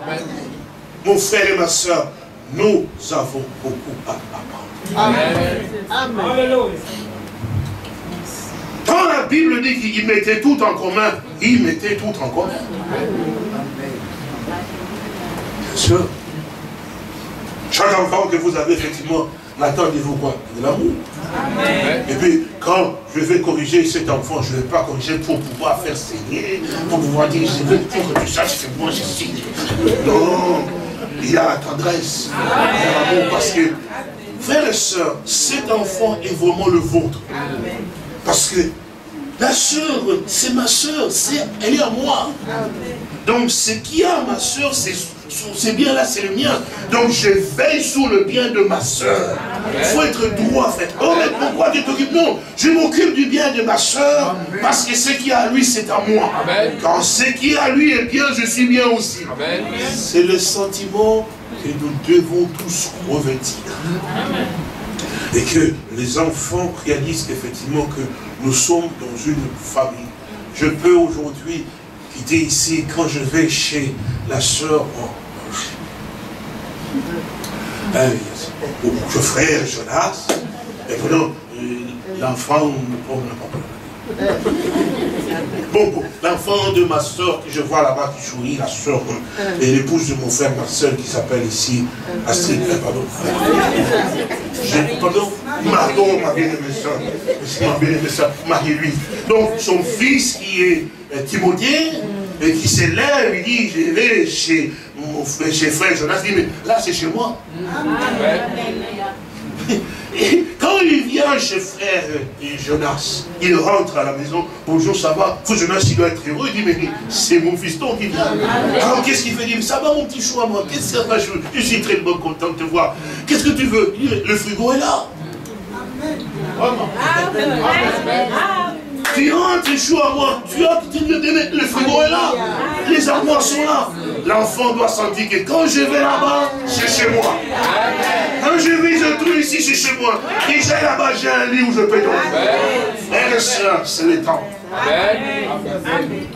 C'est absolument le temps dans lequel nous sommes frères. Pour chacun de nous, parce que nous ne sommes pas frères de lèvres, nous ne sommes pas frères de lèvres. Non, c'est la vie dont nous le sommes, et mon frère et mon frère, ma soeur et ma soeur. Donc je dois prendre plaisir, effectivement, à faire du bien à ma soeur, du bien à faire du bien à, à mon frère, effectivement, à nos enfants. Oh oui, c'est absolument important parce que ces enfants doivent avoir effectivement aussi la communion dans laquelle ils se trouvent, effectivement. Alors, ici, quand il regarde l'autre, même si il sait que c'est l'enfant, il s'appelle et Timothée, quand il voit Godson, il ne va pas dire, c'est le fils de frère Jonas. Non, c'est mon frère. Godson est mon frère. Et si lui, il est dans un transport, il voit qu'en bas, quelqu'un est en train de malmener Godson, son cœur, son sang monte. Il dit, mais c'est mon frère là. Vous êtes effectivement. Donc il faut qu'on arrive à pouvoir comprendre que c'est quelque chose qui est en nous, qui doit être là, pour que autrement, frère et soeur, c'est d'échec à l'échec. Et Satan s'interpelle il va prendre plaisir de te dire, mais oui, oh oui, mais celui-là, c'est à celui-là. Mais comment veux-tu te dire, je t'aime Seigneur, bénis mon frère, bénis ma soeur, alors que tu fais la distinction même dans les enfants? Amen. Non, monsieur. Les gens disent, oh, les religieux, oui, pour l'amour du Seigneur, je dis, les religieux, oui, les personnels, oui, mais pas toi. Toi, non. Toi, non. Tu es chez toi à la maison, tu es là, tu regardes, dis, ah, j'ai bu, je ne sais pas si, bon, pas de problème. Je fais un sac anti-là, sac pour... Mais sac, non, je mets du riz dedans, je dis, ça va, monsieur Pauline? Je suis content de passer. Tu vas bien, Je suis content de passer que tu Oh, comme je suis tellement content de te voir. Vous ne pouvez pas cette joie quand vous voyez votre frère. Amen. Et puis il dit, mais j'ai passé, mais j'avais quelque chose. Oui, j'ai senti. Reste avec ça. Tu ne savais pas. Et en fait, elle avait aussi besoin de riz. Donc ton Dieu à toi, puisque ton cœur est tellement amoureux de ton frère et ta soeur, quand ton soeur, ton frère dans le besoin, il te met à cœur. Va chez lui, dépose. Parce que ce que tu as, c'est pour lui aussi, non? Donc tu te soucies. Ah ben, va déposer. Ça, c'est la nature que Dieu met. Alors, quand on est comme ça, effectivement, on est à Dieu, alors, on pense ses enfants. C'est comme ça que Job était. La Bible nous fait savoir comment Job, avec un cœur droit pour ses enfants, parce que quand nous les éduquons dans nos familles, dans nos maisons, il faut avoir jamais avoir de mauvaises pensées pour que, et comme tu es avec moi, ton papa n'est pas bon, quand vous faites ça, vous êtes foncièrement mauvais, possédé par les démons, et ces démons-là vont détruire maintenant votre foyer. Pas des enfants, c'est mon déséquilibré. Il faut que les enfants soient tels que, ah, papa il est bon, maman il est bon. Quand papa dit, on obéit. Et puis aussi, il faut que l'enfant aussi voit comment maman aussi, et puis papa aussi, pas comme, ah, regarde pas bon, toujours pas bon, père pas bon, mais pas bon. C'est vrai qu'on dit ça. Mais papa bon, pas bon, pas bon. L'enfant va dire, mais quand même, papa, tous les efforts que maman fait, l'enfant ne dit rien. Parce qu'il est resté dans le jour avec maman quand même. Papa, il vient là, papa doit faire attention. Donc quand tu viens, tu vois que les fils te regardent. Ça va, tu as fait quoi?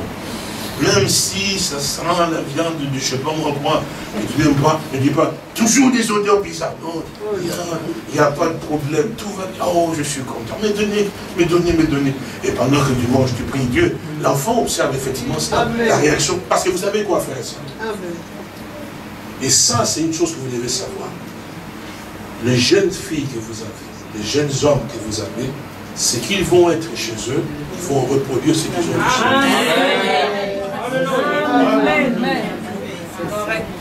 Donc, vous formez déjà des futurs messieurs, pères et des futurs mamans dans vos maisons. Parce que cet enfant, il va apprendre comment se comporter où c'est Dans un centre c'est chez vous à la maison. Parce que l'enfant regarde les garçons, regarde comment papa agit.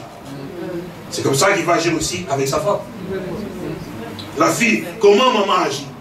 C'est comme ça qu'il va agir aussi à la maison.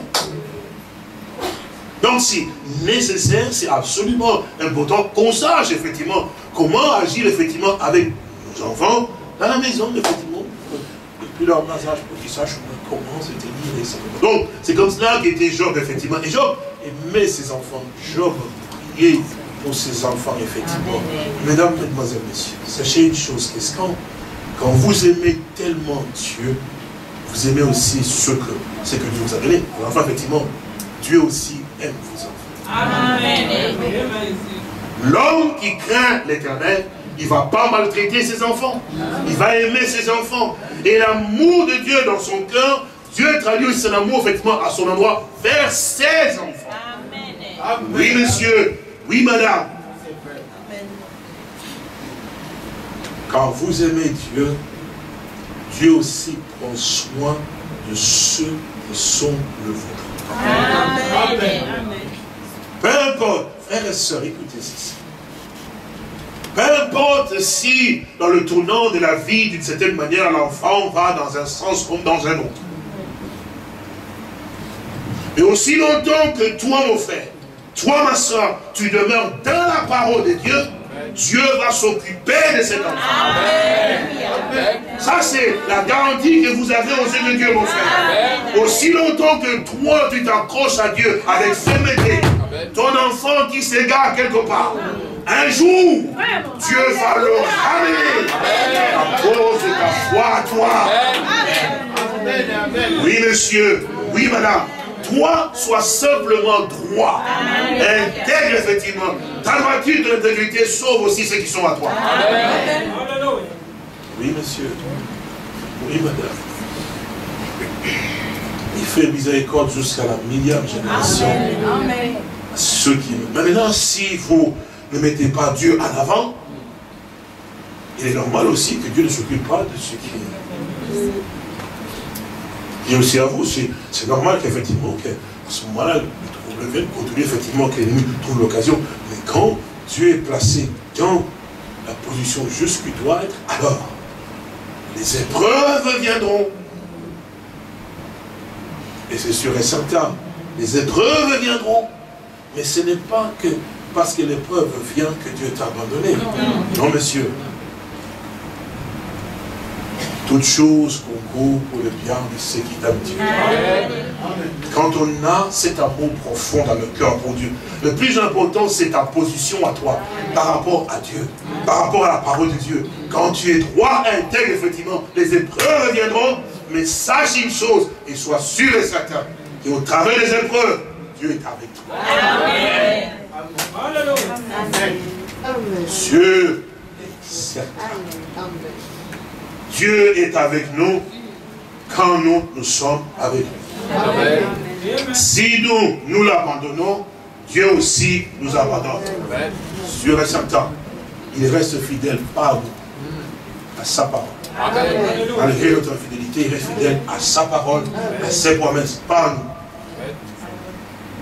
Et Job s'y accrochait ainsi à Dieu. Alors, quand Dieu a laissé Satan toucher effectivement le bien de Job.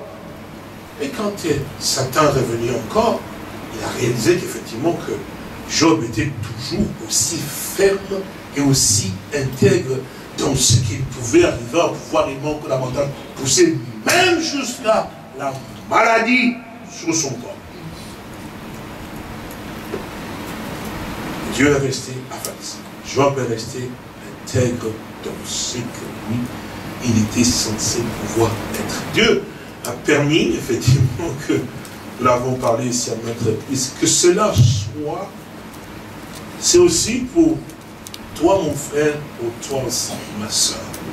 Regardez cette intégrité de Job, depuis les débuts, tout au long de l'épreuve. Et voilà que nous venons de lire avec vous, dans le verset 20 du chapitre 19, je pense que c'est cela. Puis, nous sommes descendus plus bas. L'homme, l'homme Jean, dans son épreuve, effectivement, chapitre 19, je pense, hmm? dans son épreuve par laquelle il pouvait passer, parce qu'au verset 20, il dit, mes os sont attachés à ma peau et à ma chair, il ne me reste que la peau dedans. Il dit, mais ayez pitié de moi, ayez pitié de moi, vous mes amis. Donc ceux qui étaient venus le voir n'étaient que des consolateurs fâcheux. Oui, effectivement, vous vous souvenez encore, n'oubliez jamais ce que vous entendez. Et effectivement que eux, ils étaient devenus des hommes très spirituels. Quand ils ont vu Job dans son épreuve, effectivement, se dira, nous, tout va très bien. Ça veut dire que Dieu est avec nous, nous sommes très bien. Alors effectivement, Dieu n'était pas avec eux. Quand tout va toujours très bien avec toi, c'est que Dieu n'est pas là. C'est la vérité, mon frère et ma soeur. Quand tout va toujours très bien, c'est que Dieu n'est pas là. Quand les épreuves viennent, les difficultés viennent dans ta marche, effectivement. Et que toi, dans ton âme, tu veux toujours aussi bien, c'est que Dieu est avec toi. Amen. Oui, monsieur. Oui, madame. Quand le prêve viendra, tu restes toujours aussi bien comme tu étais, ce que Dieu est avec toi. Amen. Mesdames, Mesdemoiselles, Messieurs, et c'est sûr et certain, frère. Quand tout va très bien, que tu n'as pas d'épreuve, pose-toi la question. Ce que quelque part, tu as fait vraiment des compromis avec le monde. Sûr et certain. Parce que quand tu te donnes sincèrement, totalement à Dieu, les épreuves viendront. Mais les épreuves qui vont venir ne vont pas te faire changer de Dieu. Ta position pour Dieu, elle sera toujours la même effectivement ce que Dieu est pour toi. Et quand l'épreuve vient, on voit que le frère qui était bouillant, il devient froid. La soeur qui était bouillante, elle devient froid. On ne la voit plus, c'est que Dieu n'est pas avec. Amen. Alléluia. Et monsieur, oui regarde. Parce que quand Dieu est avec toi, il permet l'épreuve et c'est juste pour toi. Parce que Dieu soutient. Il a dit non? Je suis un secours. Qui ne manque jamais au temps de la détresse. Donc au temps de ton épreuve, il dit je suis là. Je ne suis pas loin, je suis là. Vous souvenez de Pierre, non? Il essayait d'enfoncer, monsieur n'a pas continué le chemin. Non, monsieur, il est resté là. Et c'est Pierre qui a tendu la main. Seigneur, secours-moi. Et il a tenu par la main. Donc, jamais il est loin. Quand il a fait sortir la d'Israël, fait dans l'Égypte, effectivement, la mer où j'étais là, Seigneur n'était pas loin. Il était là. Amen. Il est toujours, il dit, mais pourquoi tous ces cris Ne suis-je pas le Dieu Tout-Puissant Parle, pourquoi crier? Parle seulement. Amen. C'est sûr que nous l'avons entendu, non? Donc, c'est sûr et certain. Donc, voyons comment cet homme ici, il regarde effectivement ses amis, ceux qui sont fâchés, sont venus. Oh oui, certainement tu as péché contre Dieu, c'est pour ça, c'est preuve d'arriver effectivement. Mais s'ils étaient montés là-haut, S'ils avaient trouvé grâce, comme Job avait trouvé grâce aux yeux de l'éternel, ils se seraient mis à lui, mais Seigneur, que ton nom soit béni, soutiens-le. fait que dans cette épreuve, ils sont toujours forts. Mon frère et soeur, quand nous avons le même sentiment, frère et soeur, on n'enfonce pas l'autre, on l'aide davantage. On sait qu'il passe par l'épreuve, mais c'est mon frère. Je me tiens à côté de lui pour qu'on puisse davantage prier ensemble parce que nous ne sommes pas divisés, nous sommes un.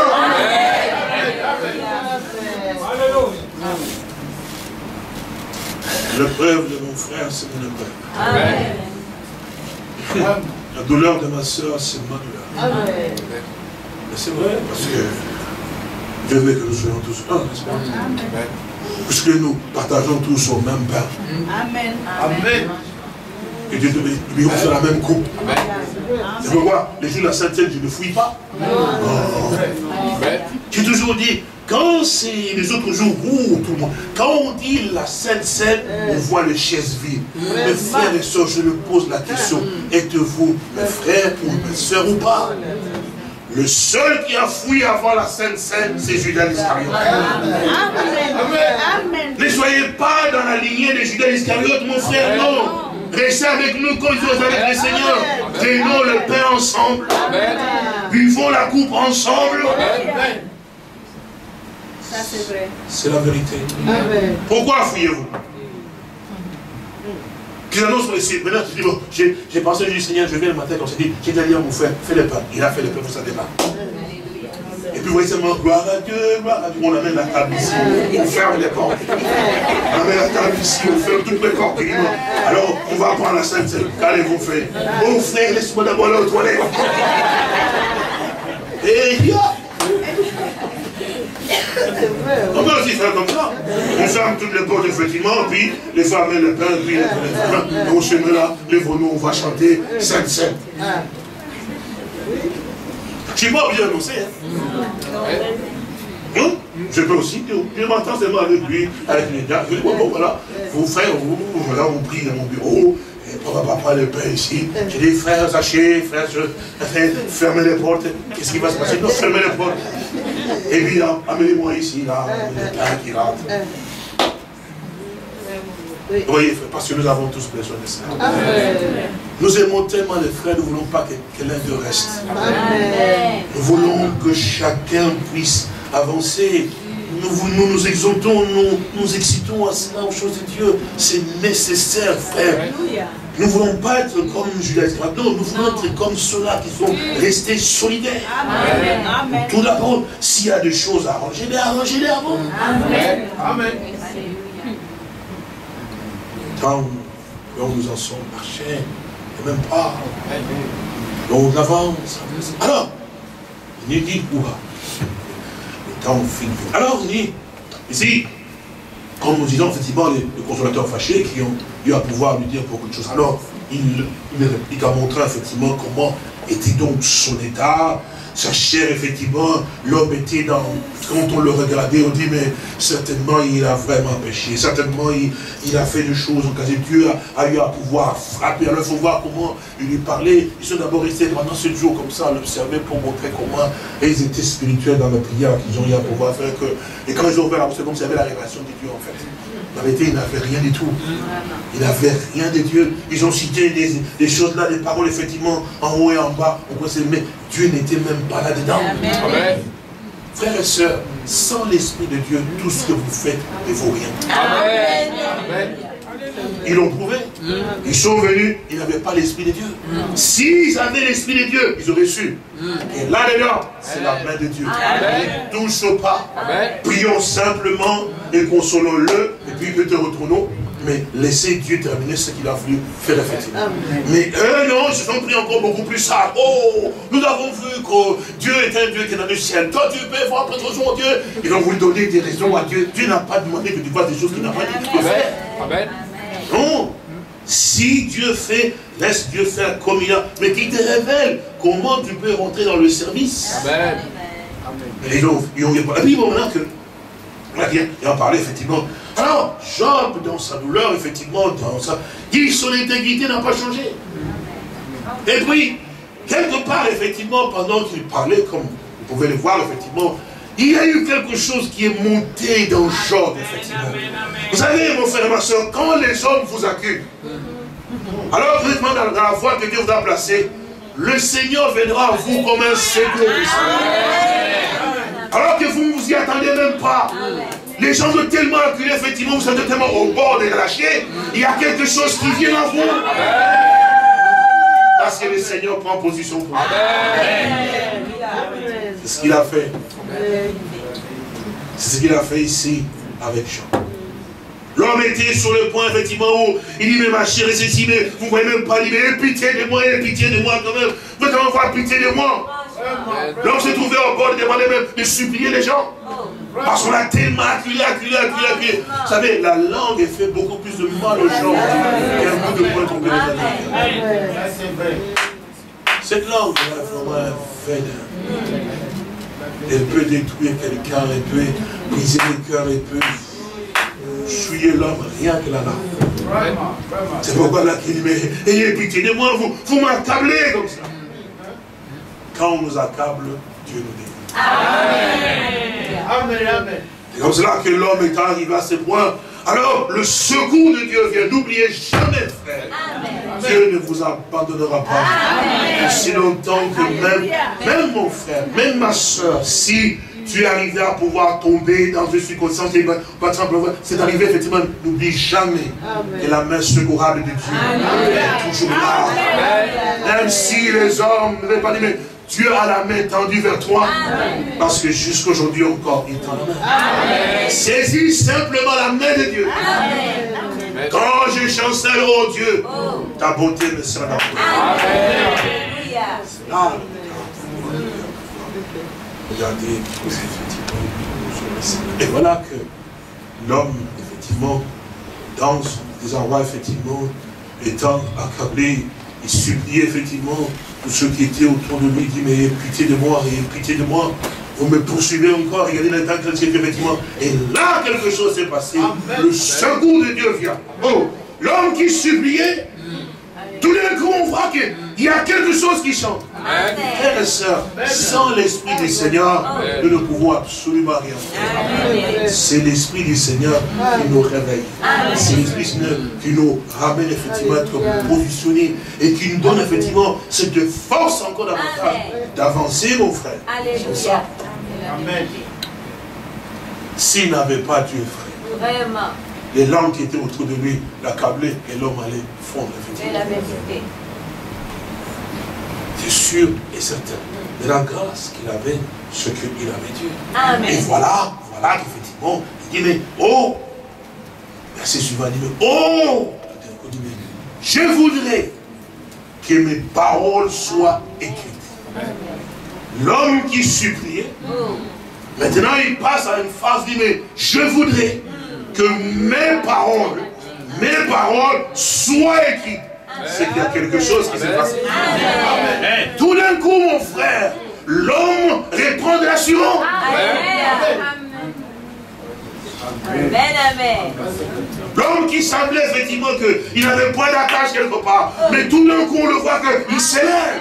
Il n'aura pas une assurance. On dit, mais on pensait qu'on l'a enfoncé. Oui, monsieur, toi tu as enfoncé et son Dieu remontait. On pensait qu'il n'allait plus chanter, il n'allait plus danser.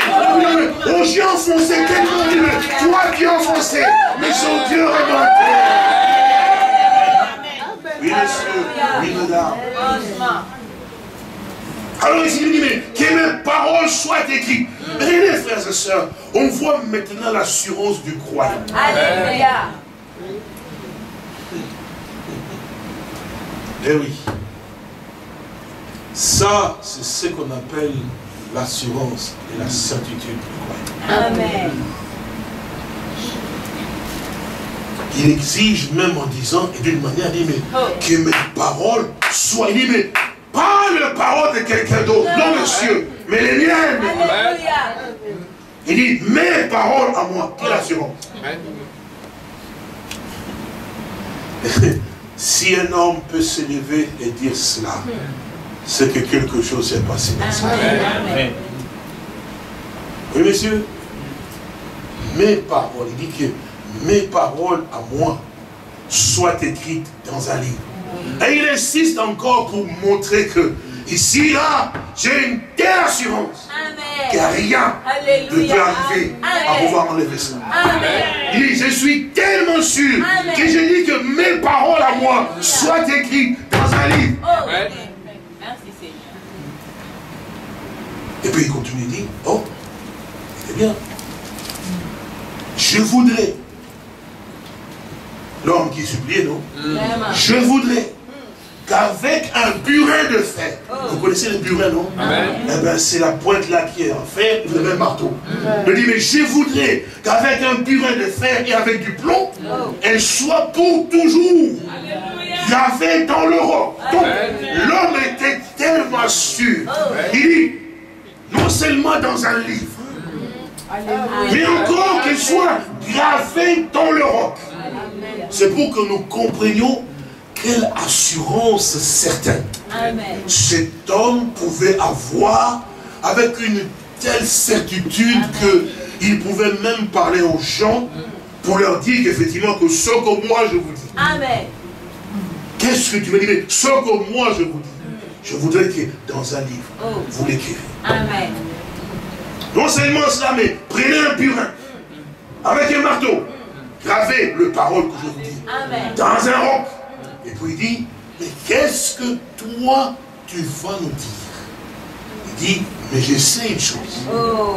que mon rédempteur est vivant. Cet homme, il s'est tenu là, c'est extraordinaire faire ça, de voir comment Dieu, dans le temps, le, plus, le moment le plus difficile et sombre, du croyant, il vient au secours du croyant. On n'avait jamais lu dans les Saintes Écritures, quelque part, effectivement, depuis le début, qu'on ait parlé du Rédempteur. Non, monsieur. Non, monsieur. On a vu comment Job a pu passer, effectivement, comment on l'a comme les paroles. Mais c'est de la bouche du Job. Que sort le mot Rédempteur. Il dit, je sais une chose que mon Rédempteur est vivant. Mon frère et ma soeur, quand on parle du Rédempteur, c'est qu'il y a l'espérance, effectivement, que mon état ici ne va pas durer, mon état va changer. Alléluia.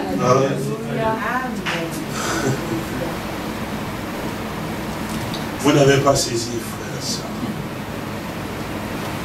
Vous n'avez pas saisi.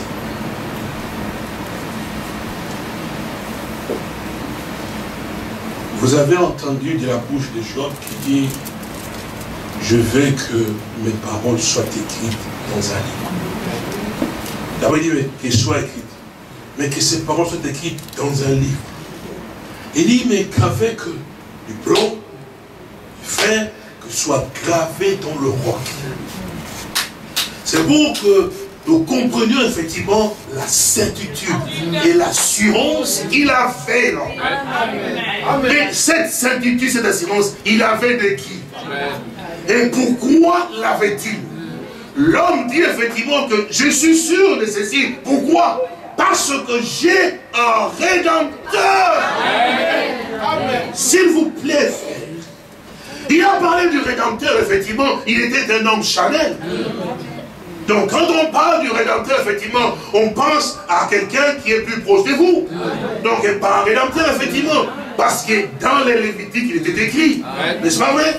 Et là, cet homme ici, regardez comment il nous fait part, effectivement, de ce qu'il disait. Il n'a pas pensé à un Rédempteur tout à fait charnel. Et pourtant, il était un homme charnel. Où c'est Sur la terre. D'où pouvait lui venir?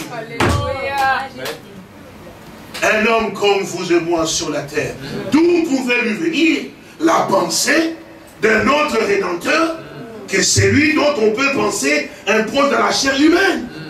Parce qu'il le dit effectivement ici, il est très bien. Il dit, verset 23, verset 2, mais je sais que mon Rédempteur est vivant.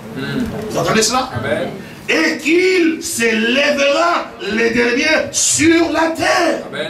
Il positionne effectivement aussi à quel moment et qu'est-ce qui va réellement se passer pour qu'il montre que ce rédempteur n'est pas un homme, effectivement, de la famille que je suis, effectivement, comme mon oncle et mon cousin. Non, monsieur. Amen. Parce qu'il va encore plus loin. Il dit ceci. Et quand ma peau sera détruite, il s'élèvera. Et il dit, mais après que ma peau aura été détruite, moi-même, je contemplerai Dieu et je le verrai et il me sera favorable. Donc effectivement, il parle effectivement que Dieu va leur ramener la condition originale. Un homme charnel sur la terre. Vraiment. Alléluia. Qui reçoit une révélation comme cela dans un corps humain et qui s'élève, mon frère, il faut être un élu de Dieu. Amen. Alléluia. Vous savez, frères et sœurs, la certitude qu'avait Job, la certitude qu'avait Job, c'est la même certitude qu'avait Paul. Amen. La même certitude qu'avait Pierre. C'est aussi la même certitude qu'a chaque élu de Dieu en rapport avec Dieu et sa parole. Amen. Vous savez, mon frère et ma soeur, si tu n'es pas certain de Dieu, Dieu ne peut pas non plus faire quoi que ce soit. C'est la vérité. C'est 100% vrai. Parce qu'un croyant doit être certain. Mais pour que tu sois certain de Dieu, il faut que Dieu se révèle à toi. Sans la révélation, tu ne pourras jamais être certain. Abraham était certain de Dieu. Parce que Dieu s'est révélé à Abraham. Même lorsqu'il a voulu offrir Isaac, il était certain. Et si Isaac mourait, Dieu le ressuscitait. Job était certain que s'il mourait, Dieu le ramènerait à la vie. Amen. Amen. Et toi, où se trouve ton mission Amen. Amen. Où se trouve ton assurance? Est-ce que Dieu est-il vraiment certain pour toi? Est-ce que Dieu est-il vraiment aussi réel pour toi? Où se trouve ta certitude? Dieu est-il vrai aussi pour toi? Parce que Job a prouvé. Job a dit, il s'élèvera, il dit, les yeux de Job, et non ceux de notre. Vous savez, toi, tu peux le répéter. Tu peux le dire aussi comme on va le dire effectivement. Mais Job n'a pas répété. Amen. Non, Job, quand il a dit, mes yeux ici, et non ceux de l'autre le verront, il était certain. Amen. Il n'y avait pas l'ombre d'un doute dans son âme qui ne pourra jamais voir Dieu. Pourquoi cela? Parce que Dieu a voulu que Job réalise cela, que même si la mort passait par Job, Dieu était toujours avec Job. Amen. Regardez une chose, frère et soeur, mon frère et ma soeur. Qu'est-ce qui te rend aussi sûr et certain? Et toi, frère, ta soeur qui est assis ici, et si tu mourrais aujourd'hui, de l'autre côté, tu verras. Amen. Qu'est-ce qui te rend sûr et certain aujourd'hui? Que si tu pars, et que quand la trompette retentira, tu ne vas pas rester dans le sol. Amen. Qu'est-ce qui te rend sûr Ça, c'est la question que tu dois te poser. Il ne faut pas aller vite, vite dans l'affoulement. Je partirai, je partirai. Je... Non, monsieur. Il faut que tu puisses te poser la question, est-ce qu'aujourd'hui, suis-je vraiment sûr et certain Parce que Job a dit, même si ma chair était détruite, un homme comme vous pas les yeux de mon voisin, pas les yeux de ma voisine, mais mes yeux à moi. Job, je le il dit, il a dit, il dit, mais mon rédempteur. Il n'a pas dit les rédempteurs du monde, il dit, mais mon rédempteur. Donc il est devenu son rédempteur, sa propriété à lui. Et ça, ce n'était pas qu'il répétait quelques paroles de quelqu'un qu'il a entendu. Non, monsieur, lui-même, il a réalisé j'ai toujours pleuré ici en vous disant, cessez de jouer la comédie. Cessez de jouer aux chrétiens, cessez de jouer aux spirituels. Ça ne sert à rien. Il faut que tu sois conscient. Parce que quand tu descendras, c'est bien de jouer, c'est bien d'être d'ici les fesses, il n'y a pas de problème. Mais un jour, la mort surprendra. Amen.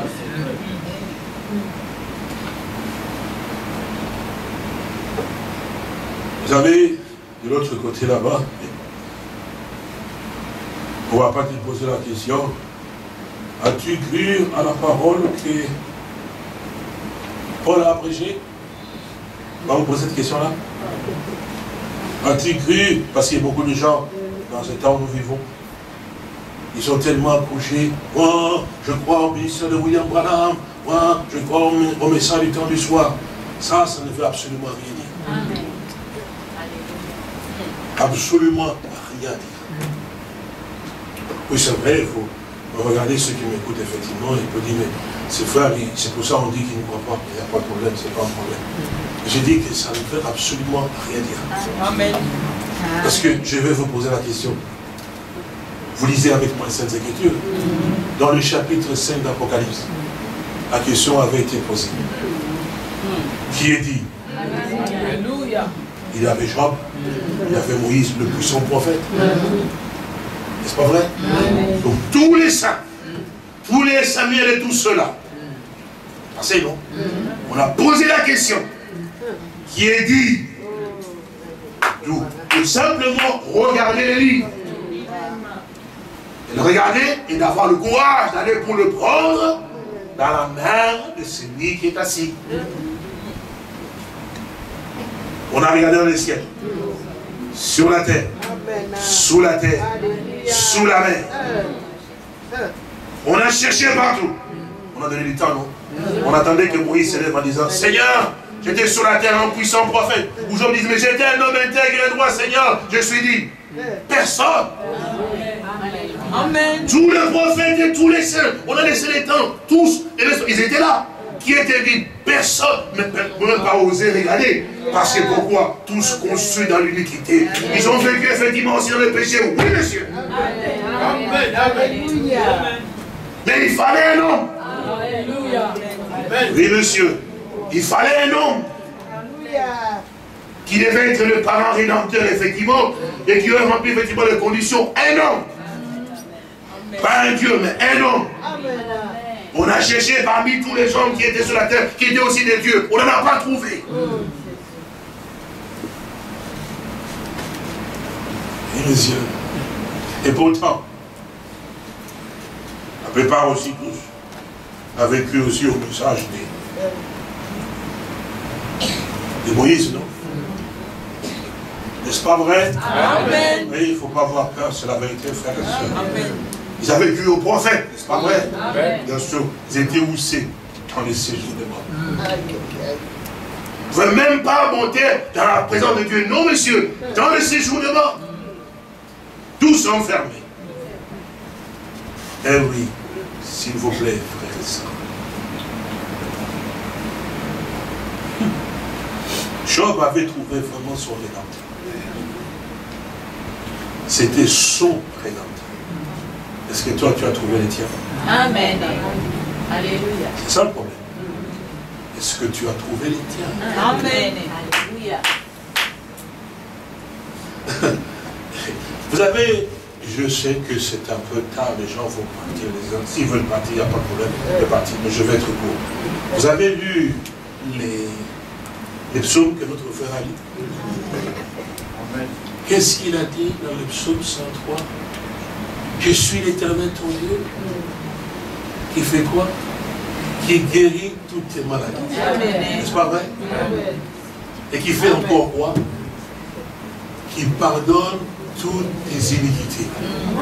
Est-ce que vous avez prêté attention? Non, monsieur, vous n'avez pas vraiment prêté attention. Et regardez encore ici un peu plus bas la question. Elle est très bien.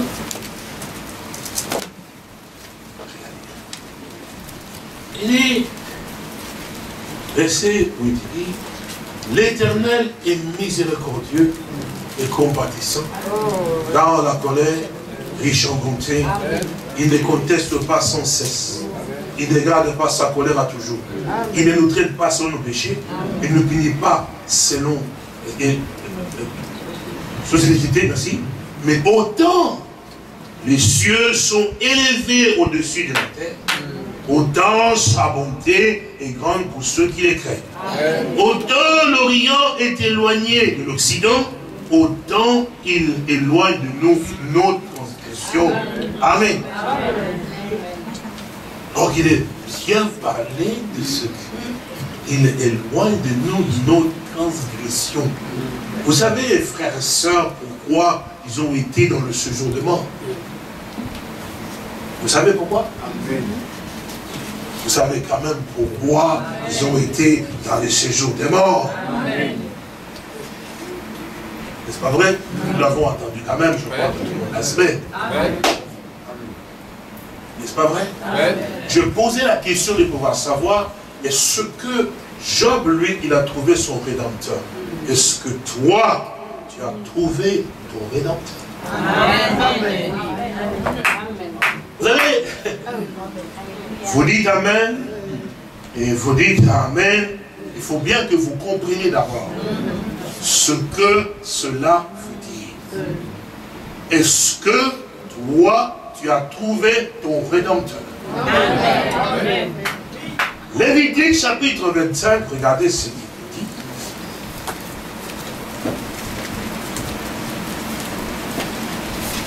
Lévitique au chapitre 25. Le verset 25 dit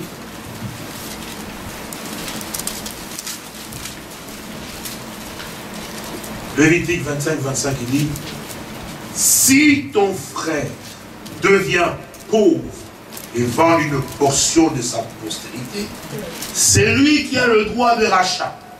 Son plus proche parent viendra et rachètera ce que a vendu son frère. Vous avez entendu Donc, le proche parent, c'est-à-dire le parent rédempteur, a le droit de rachat, de te racheter, de racheter ce que toi tu as vendu. Pour maintenant te ramener à la propriété dans laquelle tu t'es trouvé. Te ramener à la condition dans laquelle tu étais auparavant. Il y a ça, c'est le droit qu'a le parent rédempteur. C'est pour ça que Job, lui, quand il a vu sa peau, quand il a vu son état, il disait que je m'en vais dire, mais je sais une chose, que mon rédempteur est vivant. Mon rédempteur à moi, il est vivant. Alors il dit, mais même si ma peau était détruite, les yeux de Job, et non ceux de notre, effectivement, les verrou. C'est-à-dire que le tombeau n'aura pas de pouvoir sur moi. Même si je suis là enseveli, je sortirai vivant. Amen. Oui, monsieur. Pourquoi? Parce que le rédempteur de Job avait le droit de rachat, de le racheter. Pas que Job pensait à ses biens matériels, ainsi de suite. Non, monsieur. Amen. Job pensait effectivement à son état parce que Dieu lui a révélé effectivement que aussi longtemps, peu importe qu'il a fait tout ce qu'il fallait effectivement, mais s'il mourait, c'est dans le séjour de mort. Bien sûr, monsieur. Sûr et certain. Pas dans la présence de Dieu, mais dans le séjour de mort. Évidemment, dans le séjour de mort, il y avait deux parties. D'un côté, le sein d'Abraham, de l'autre côté, effectivement, c'était le feu. Et tous ceux qui mouraient dans la foi, effectivement, étaient dans le sein d'Abraham, le père de la foi. Ça, vous le savez, n'est-ce pas? Oui, monsieur.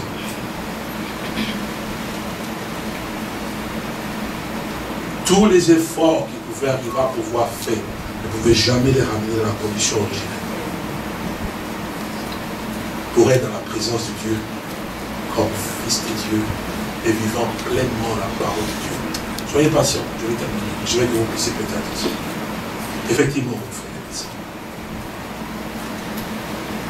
Comme vous le savez, là-dedans, personne ne pouvait lui-même arriver à pouvoir sortir de là pour aller dans la présence de Dieu. Non, monsieur, personne. Pourquoi Parce que il leur fallait un parent rédempteur. Il leur fallait quelqu'un qui avait le droit de rachat pour racheter, par leur bien matériel effectivement, mais les racheter eux, dans leurs conditions dans lesquelles, et cela est bien exprimé par Pierre, je pense, dans 1 Pierre, je pense, au chapitre 1, je pense que c'est cela. 1 Pierre au chapitre 1, 1 Pierre chapitre 1, verset 17, il dit, verset 15, il dit, mais puisque celui qui vous a appelé est saint, vous aussi soyez saint dans toute votre conduite. Selon qu'il est écrit, vous serez saint car je suis saint. Et si vous invoquez comme Père celui qui juge selon l'œuvre de chacun, sans favoritisme, conduisez-vous avec crainte pendant les temps de votre séjour sur la terre. Vous savez que ce n'est pas par des choses périssables, par l'argent ou l'or que vous avez été racheté de la même manière de vivre que vous aviez hérité de vos pères. Donc c'est cela en fait. Cette nature dans laquelle nous nous trouvions effectivement venant comme nous étions effectivement notre, que nous avons hérité effectivement de nos pères, notre manière de vivre. C'est cela ce que l'apôtre Paul pouvait dire plus loin, quelque chose en disant, mais non pas avec ma justice, celle qui s'obtient à la loi. Philippiens chapitre 3, je pense que c'est cela. Philippiens chapitre 3, je c'est cela, chapitre 3 de Philippiens, c'est ici. Au verset 7, il dit, mais ces choses qui étaient pour moi des gains, je les ai regardées comme une perte à cause de Christ. Et même je regarde toutes choses comme une perte à cause de l'excellence de la connaissance de Jésus-Christ, mon Seigneur, pour lesquels je renonçais à tout, je le regarde comme de la boue, afin de gagner Christ et d'être trouvé en lui, non avec ma justice, celle qui vient de la loi, mais avec celle qui s'obtient par la foi en Christ, la justice qui vient de Dieu par la foi. Amen. Donc effectivement, peu importe ce qui pouvait arriver à pouvoir avoir fait, il ne pouvait pas monter dans la présence de Dieu. Mais la manière dont ils ont vécu leur a permis d'être préservés, être bigotés, en fait, comme on en parle effectivement dans les saints d'Abraham qui avaient la foi. En vie de qui Ils sont tous morts parce qu'ils avaient la foi en celui qui devait venir. Chacun, écoutez frère, chaque croyant, chaque élu de Dieu, frère, il avait la foi. Que quand nous mourrons, effectivement, nous savons une chose. Nous attendons celui qui va venir, c'est-à-dire le Messie. Christ qui devait venir effectivement pour racheter effectivement l'âme, leur âme effectivement, afin qu'ils soient présentés maintenant dans la présence de Dieu. C'est ça que Job a eu à pouvoir crier. Je vous ai posé la question. Mon frère et ma soeur, Job avait son rédempteur. Ce que je viens de dire, vous le connaissez. Job avait son rédempteur. Job était sûr et certain de son rédempteur et de sa position par rapport à son rédempteur. Est-ce que toi, tu es sûr et certain de ton rédempteur? Est-ce que tu l'as ou Est-ce que tu possèdes ce rédempteur? Parce que la question est va savoir si ce rédempteur est vraiment le tien. Parce que s'il est ton rédempteur, mon frère, vous savez ce qu'il va faire? Mais il va sceller pour dire que tu es à moi, je suis à toi. Mais aussi longtemps que le scellement n'a pas eu lieu, il n'y a pas de rédemption. Merci, monsieur. Amen. monsieur. Ya, madame. Ça vous choque. Vous savez ce que l'Écriture dit dans le chapitre 5 de l'Apocalypse. Qu'est-ce qu'il dit? Quand on a posé la question, on a cherché partout, on n'a pas trouvé N'est-ce pas vrai? Vous savez pour quelle raison Vous savez pour quelle raison Jean a pleuré, n'est-ce pas vrai En dessous et au-dessus et partout, on n'a pas trouvé. Parce qu'il fallait un homme. On a cherché parmi les hommes, on n'a pas trouvé. Et quand on a trouvé, qu'est-ce que l'Écriture nous dit? Regardez bien.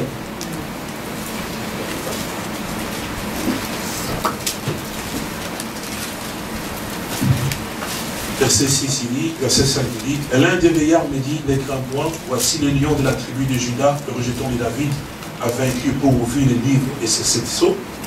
J'ai vu au milieu du trône et des quatre êtres vivants, et au milieu du veillard, un agneau qui était là comme volé. Il avait sept cornes et sept yeux qui sont les sept esprits de Dieu envoyés par toute la terre.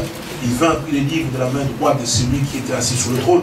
Quand il eut pris les livres, les quatre êtres vivants et les 24 veillards se prosternèrent devant l'agneau, tenant chacun une harpe et des coupes d'or remplies des parfums qui sont les prières des saints, et il chantait un cantique nouveau en disant, tu es dit de prendre le lit et d'en ouvrir le seau, car tu as été immolé et tu as fait quoi? Tu as racheté pour Dieu par ton sang des hommes de toute tribu, de toute langue, de tout peuple et de toute nation. Et tu as fait d'eux un royaume et des sacrificateurs pour notre Dieu, et ils régneront sur la terre. Amen. Vous avez remarqué, frères et sœurs, il est écrit qu'ils régneront sur la terre. N'est-ce pas vrai? Amen. Après l'enlèvement, il y a une étape qui va se passer. Vous le savez, non. Ce sera le règne de mille ans, n'est-ce pas Amen. Ça va pas dans les cieux, sur la terre. Vous vous souvenez Je vais vous poser la question, puis je termine. Je vais vous poser la question de savoir, frère. Qui sont ceux qui vont vivre dans le règne de mille ans? Ils sont ceux qui vont vivre dans le règne de Milan. J'ai dit, je termine par là. Qui sont ceux qui vont vivre. Je vais parler de la rédemption, non? Rédempteur, n'est-ce pas? Bon, je vous ai posé la question, est-ce que tu as un rédempteur, toi? Vous avez crié, oui, tu as un rédempteur, toi. Tu sais qui est ton rédempteur? Frères et sœurs, regardez bien, vous savez qui sont ceux qui vont vivre dans les milléniums Pendant mille ans? Vous le connaissez? Regardez.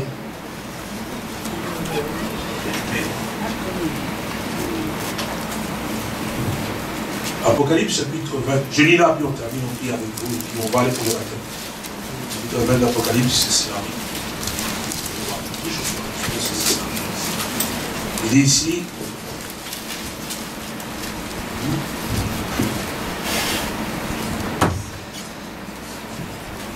chapitre 20, nous lisons plus en verset 4. Il dit, euh, non, c'est parti verset 4. Puis j'ai mis descendre du ciel un ange qui avait la clé de la Bible et une grande chaîne dans sa main.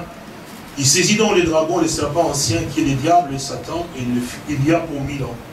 Il les jeta dans l'abîme, ferma et cela l'entrée au-dessus de lui, afin qu'il ne se nuise plus de nation jusqu'à ce que le mille ans soit accompli. Après cela, il faut qu'il soit délié pour un peu de temps. Et j'ai vu des trônes, et à ceux qui s'y assirent fut donné le pouvoir de juger. Et j'ai vu les âmes, les âmes de ceux qui avaient été décapités à cause du témoignage de Jésus et à cause de la parole de Dieu, et de ceux qui n'avaient pas adoré la bête, ni son image, et qui n'avaient pas reçu la marque sur leur front, ni sur leurs mains. Ils revinrent donc à la vie, ils régnèrent avec Christ pendant mille ans. Les autres morts ne revinrent point à la vie jusqu'à ce que le mille ans soit accompli. C'est la première. Verset 6, il dit, Heureux et saints ceux qui ont part à la première résurrection. Pourquoi? Si tu as ton rédempteur, tu vas voir la droite seconde mort. Non. Non, monsieur. C'est biblique, frère. C'est clair, madame. Parce que quand il t'a racheté, c'est une rédemption éternelle. Il ne peut plus te faire passer la bas Non, monsieur, tu es racheté pour l'éternité. Donc c'est tout à fait 100% que tu es à Dieu maintenant. Donc il mais par contre, parce que ceux qui n'ont pas la première c'est l'épouse, monsieur. Par contre, les autres, ils disent, mais, ils mais heureux et saints ceux qui ont part à la première résurrection. Pourquoi? La seconde mort n'a point de pouvoir sur eux, mais ils seront sacrificateurs de Dieu et de Christ et viendront avec lui pendant mille ans. Et puis après, c'est le jugement, effectivement. Oui, madame, prêtez attention, je vous laisse partir. N'allez pas simplement en disant, j'ai mon rédempteur. Non, il faut qu'il soit réellement votre rédempteur. Il faut que tu sois sûr et certain que vraiment, Jésus-Christ, mon Seigneur, m'a racheté.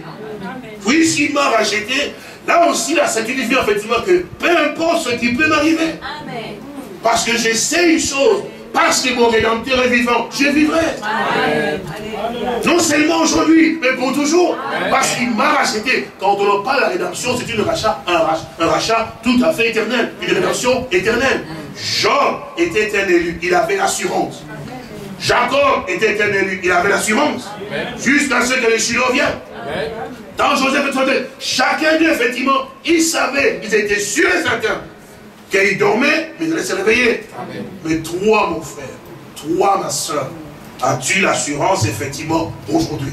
Parce que si déjà, pour ta propre guérison, ta propre défense, tu n'as même pas la foi, alors qu'en est-il effectivement de ton rachat?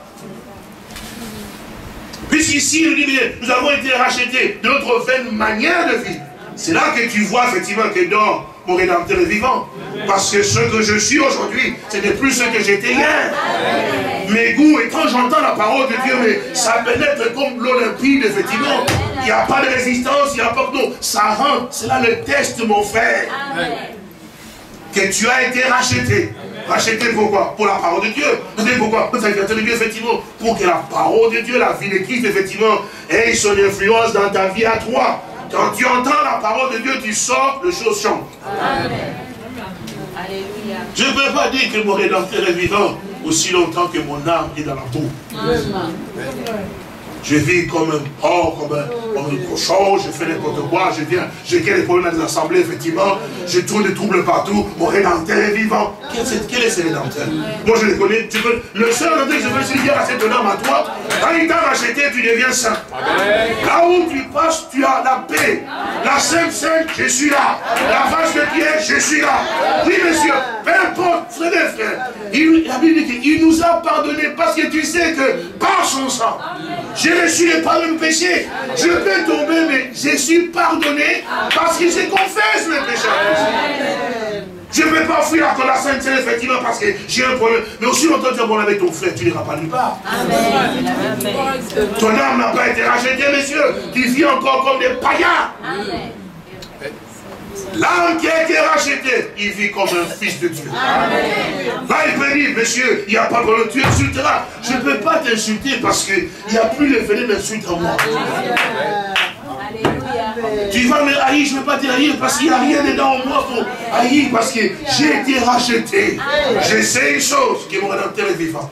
Et parce qu'il vit, je vis aussi. Là, je peux dire que oui, je sais que mon rédempteur est vivant. J'ai été racheté. C'est pourquoi j'ai posé la question, est-ce que tu as un rédempteur? Amen. Amen. Amen. Parce que si tu as un rédempteur, c'est qu'il t'a racheté, il a payé pour toi, il a pris réellement ta place. Maintenant tu dis, oh je ne sais pas si j'ai été pardonné, est-ce que je me sens quand même toujours comme coupable quelque part Aussi longtemps que tu as cela, c'est que tu as un problème avec Dieu? Le problème c'est que Dieu t'a pardonné. Mais tu as toujours tendance à faire quoi? Regarder en arrière. J'avais fait, c'était passé, mais ton rédempteur a déjà payé pour ça. L'apôtre Paul dit, oubliant ce qui est en arrière, je t'en vers ce qui est en avant. Amen. Christ est venu pour ce péché-là, qui t'a toujours tourmenté toute ta vie entière. Il a payé pour ça. Pourquoi toujours il a laissé pécher, effectivement C'est qu'il t'a pas racheté. Ce que le rachat, ce qui fait la lourdeur que tu as, mon frère. La lourdeur que tu as, pourquoi tu ne veux pas s'aimer Parce que le péché est là? Et pourtant, tu dis que mon rédempteur est vivant. Mais s'il est au Rédempteur, il a payé pour ce péché. Amen. Amen. Je suis l'éternel qui pardonne tous tes péchés. Il n'a pas dit quelque Tout, monsieur. Amen. Alors si c'est tout, alors il m'a lavé. Amen. Je suis libre, monsieur. Je peux maintenant entrer dans le sein des saints. Donc je rentre effectivement avec assurance. Amen à la maison, je j'ai fait, il y a des choses qui me sont arrivées. Mais avant de venir, j'ai dit, Seigneur, lave-moi. Il m'a lavé. J'entre dans sa maison, je suis lavé. Mon m'a dit, il n'y a rien qui va m'empêcher. Oh, je sens encore la lourdeur. Et ceci, et. Satan, tout ça était dehors. J'ai confessé tout ça à Dieu. Dieu a pardonné. Maintenant, je suis dans sa maison. Je le loue. Mon âme est libre et léger. C'est comme cela que Dieu. Ça, c'est ce que Job a dit, je sais, il se dit, mais, il dit, mais même si mon corps était détruit, mes yeux à moi, et non ceux de l'autre. Je dois avoir cette assurance que si l'enlèvement doit avoir lieu, rien ne va me retenir. Moi ici, je dois partir. Je sais une chose que mon âme ne m'appartient plus. Elle appartient à celui que j'ai donné âme. Tu dois être certain d'être certain, frère, ne donnez pas votre mariage, au travail, aux études. Non, ton âme a besoin d'avoir son rédempteur. Quand j'ai mon rédempteur, tout va rentrer dans l'ordre. Oui, monsieur, mariage viendra, travail viendra, séjour viendra, tout viendra. Oui, monsieur, parce qu'il est ton rédempteur. Il t'a racheté. Il va agir maintenant dans ta vie à toi. Oui, monsieur. Comme il a restauré Job, il va te restaurer. Pourquoi? Parce qu'il est ton rédempteur.